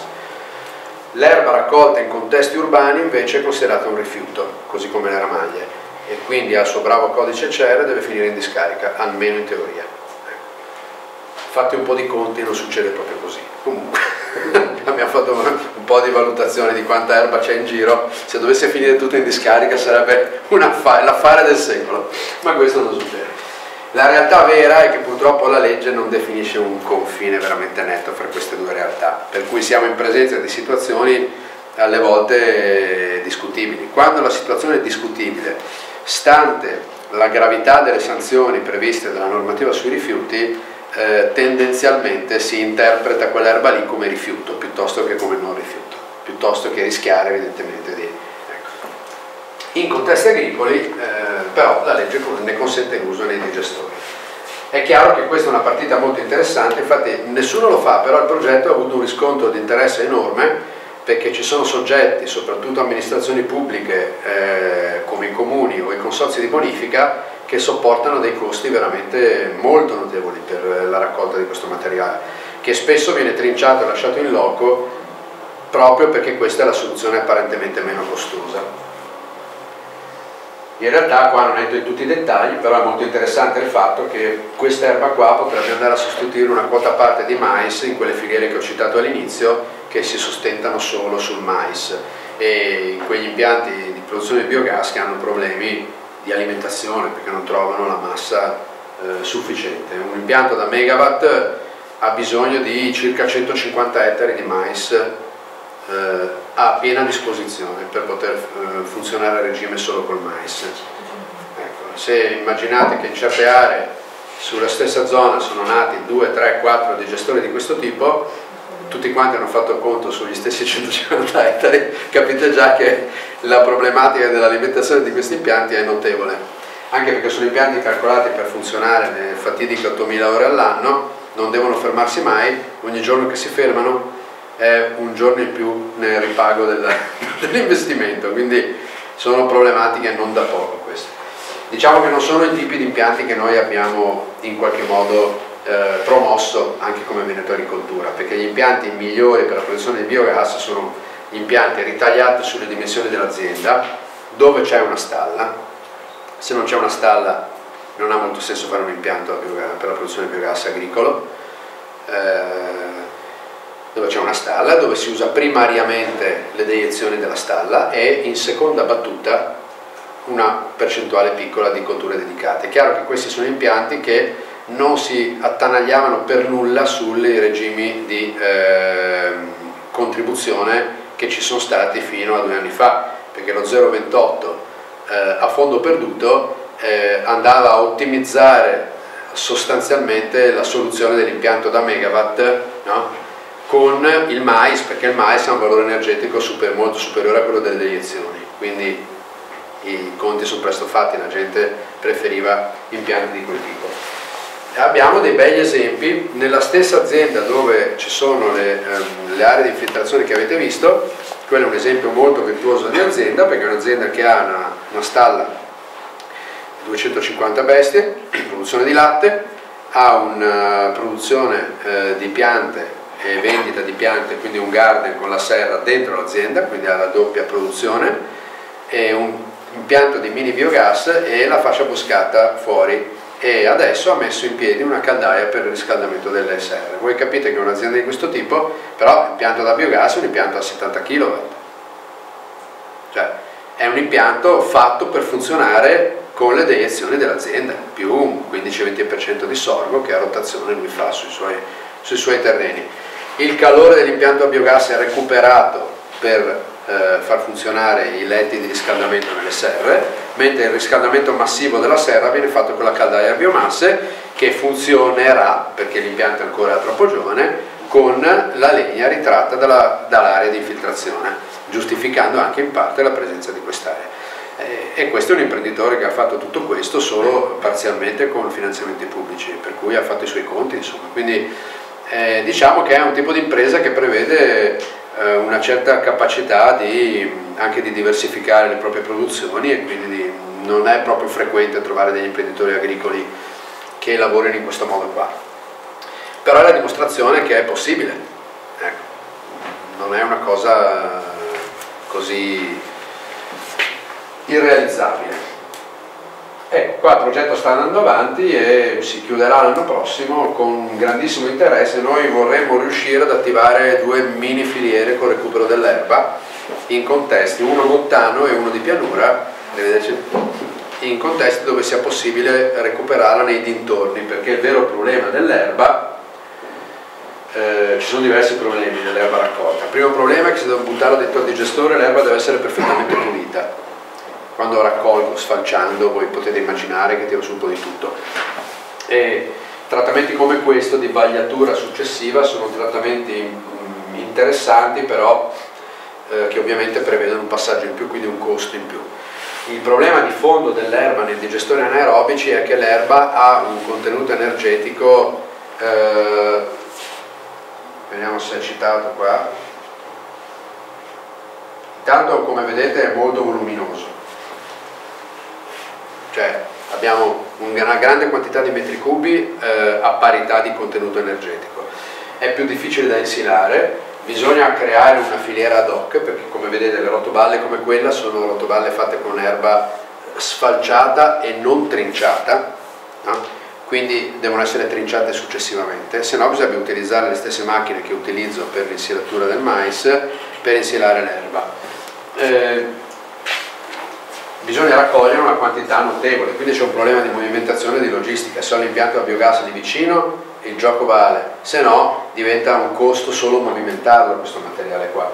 L'altro tema è quello appunto della pulizia, quindi la possibilità di vagliarlo successivamente, perché quello che finisce dentro al digestore, però non è che il digestore lo si può ripulire molto facilmente, cioè deve entrarci del materiale quanto più possibile pulito qui ci sono le due vie, devo vedere se c'era, eccolo qua, vedete, da una, una tonnellata di mais eh, ha un contenuto energetico che eh, si raggiunge con eh, da 1,5 a 3 tonnellate, direi più 3 che 1,5 di erba, quindi rapporto da 1 a 3.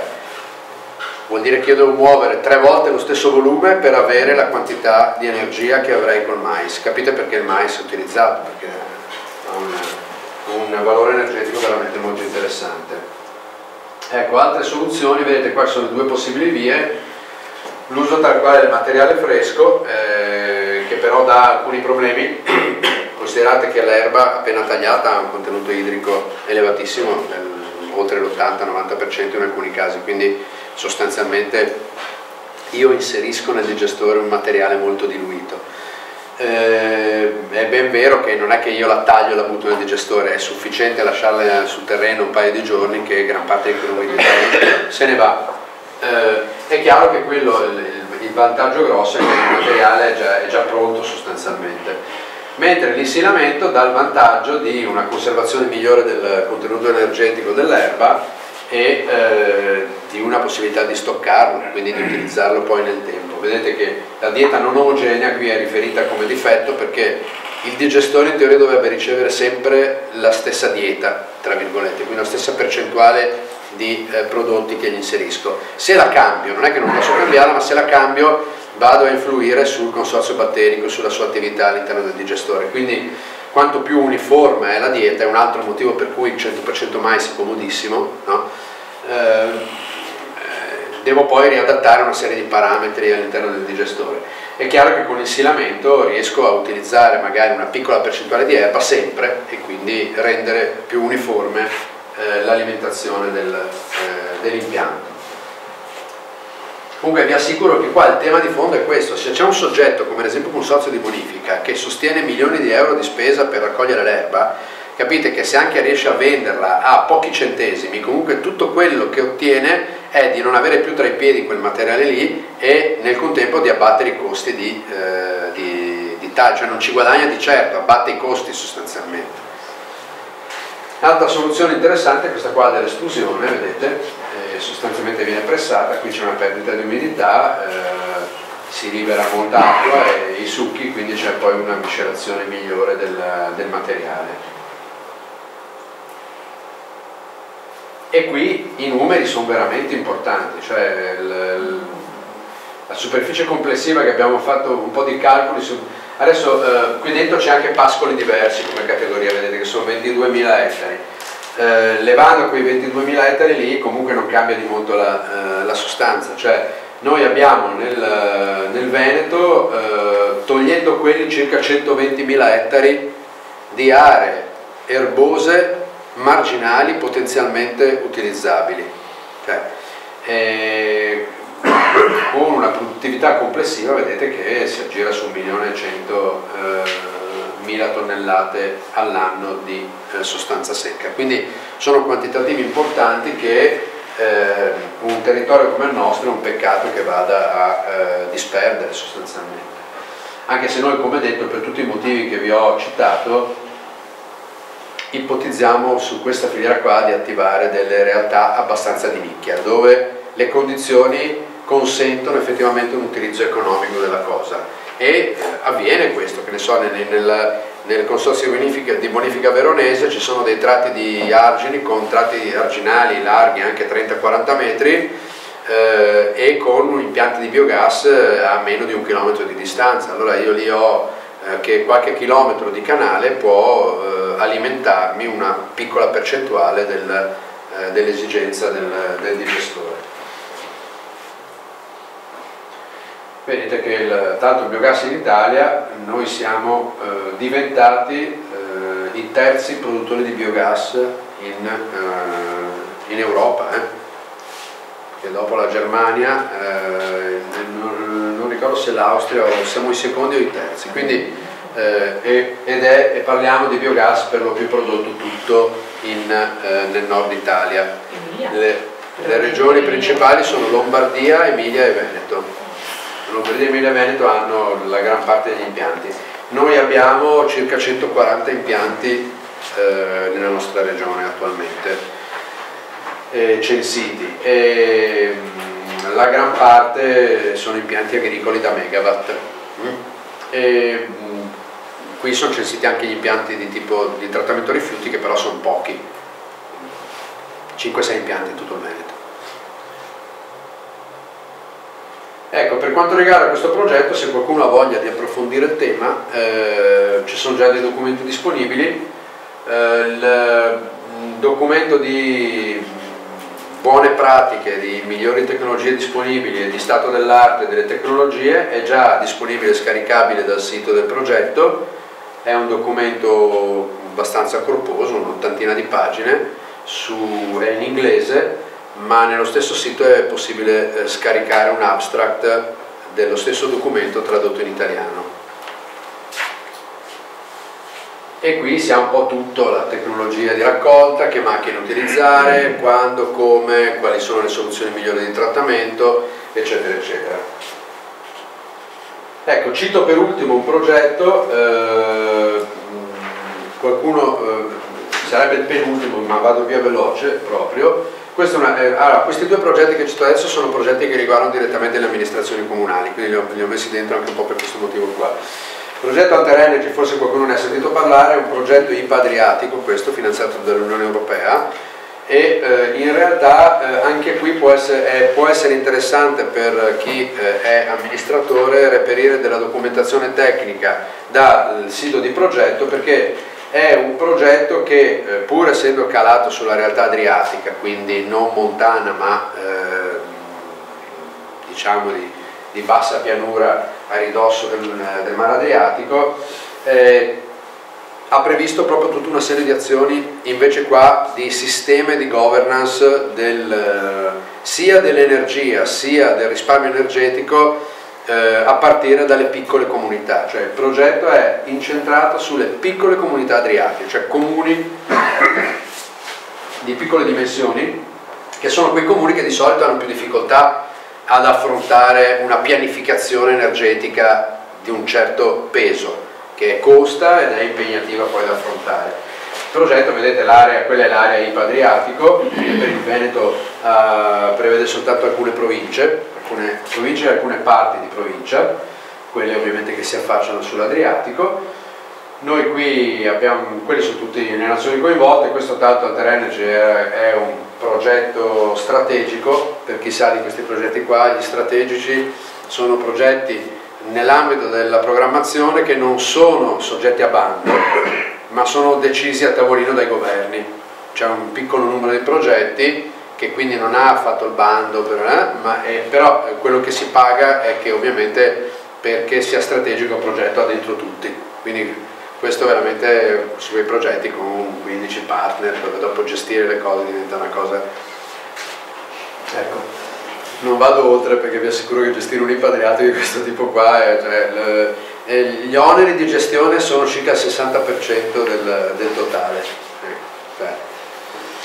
comunque eh, la cosa interessante è che per questi comuni che erano definiti al di sotto dei 10.000 abitanti eh, è stato fatto tutto un percorso di coinvolgimento sia dei cittadini che degli amministratori e con la realizzazione dei documenti essenziali per la gestione energetica del territorio comunale ehm, e di valutazione di percorsi, di, di possibilità di finanziamento eccetera. Quindi se è vero che questo è stato calato su un comune in particolare, perché è stato selezionato un comune per fare da test, eh, è anche vero che eh, le modalità sono esattamente le stesse, quindi tu, tutta la documentazione che è stata messa a punto per il progetto può essere reperita e utilizzata liberamente da altre amministrazioni che volessero avvantaggiarsene.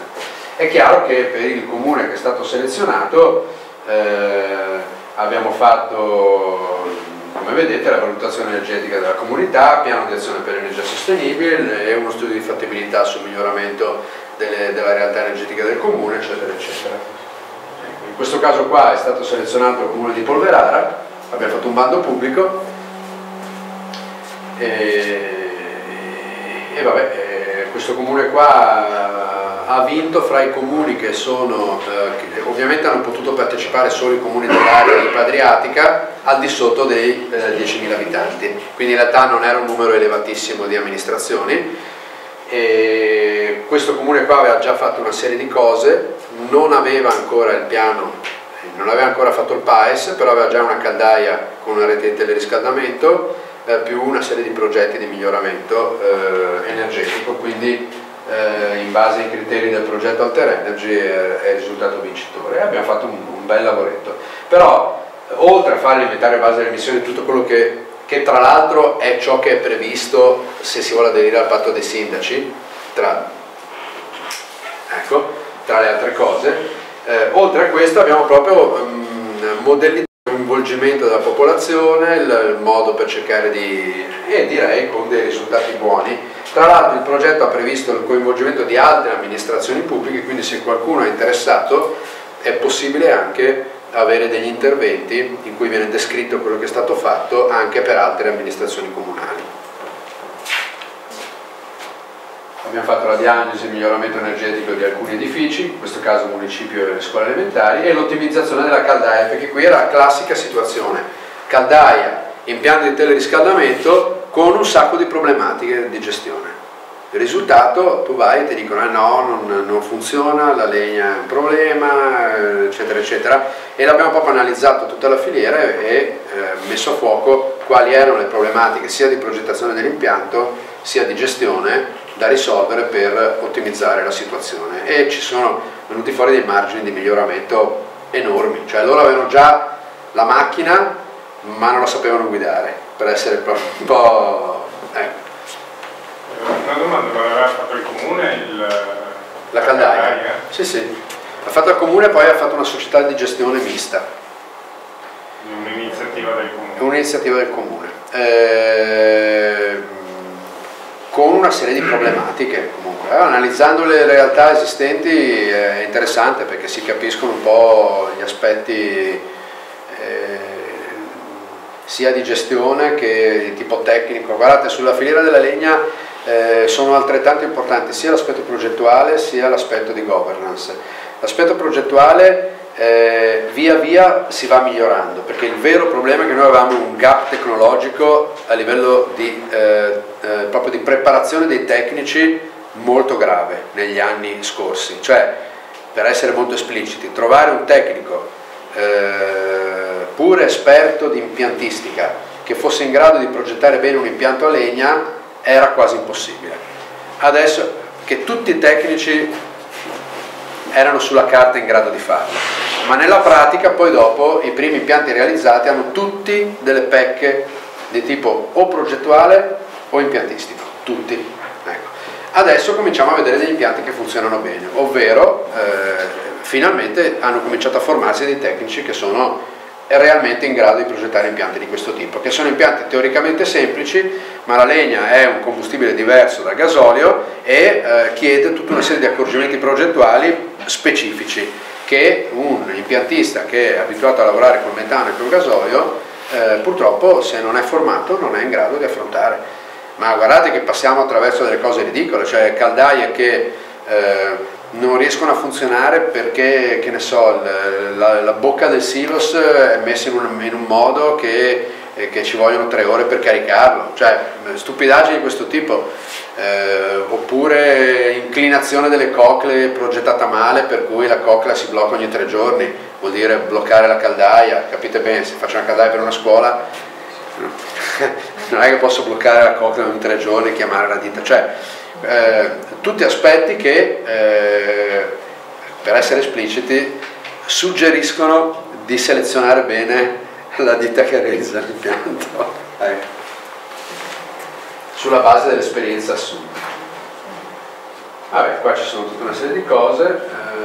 Eh, ecco, qua erano tutte le varie ipotesi. Avevamo fatto quattro ipotesi per l'ottimizzazione della caldaia, utilizzare la caldaia com'era, eh, partire con un impianto di cogenerazione con la caldaia ad acqua esistente oppure passare a una cogenerazione con caldaia a vapore o addirittura una trigenerazione con caldaia a vapore. Chiaro che queste ultime soluzioni prevedevano un ulteriore investimento sulla caldaia esistente o con la sostituzione o con l'abbinamento a un'altra unità, quindi lì le valutazioni le farà poi il comune.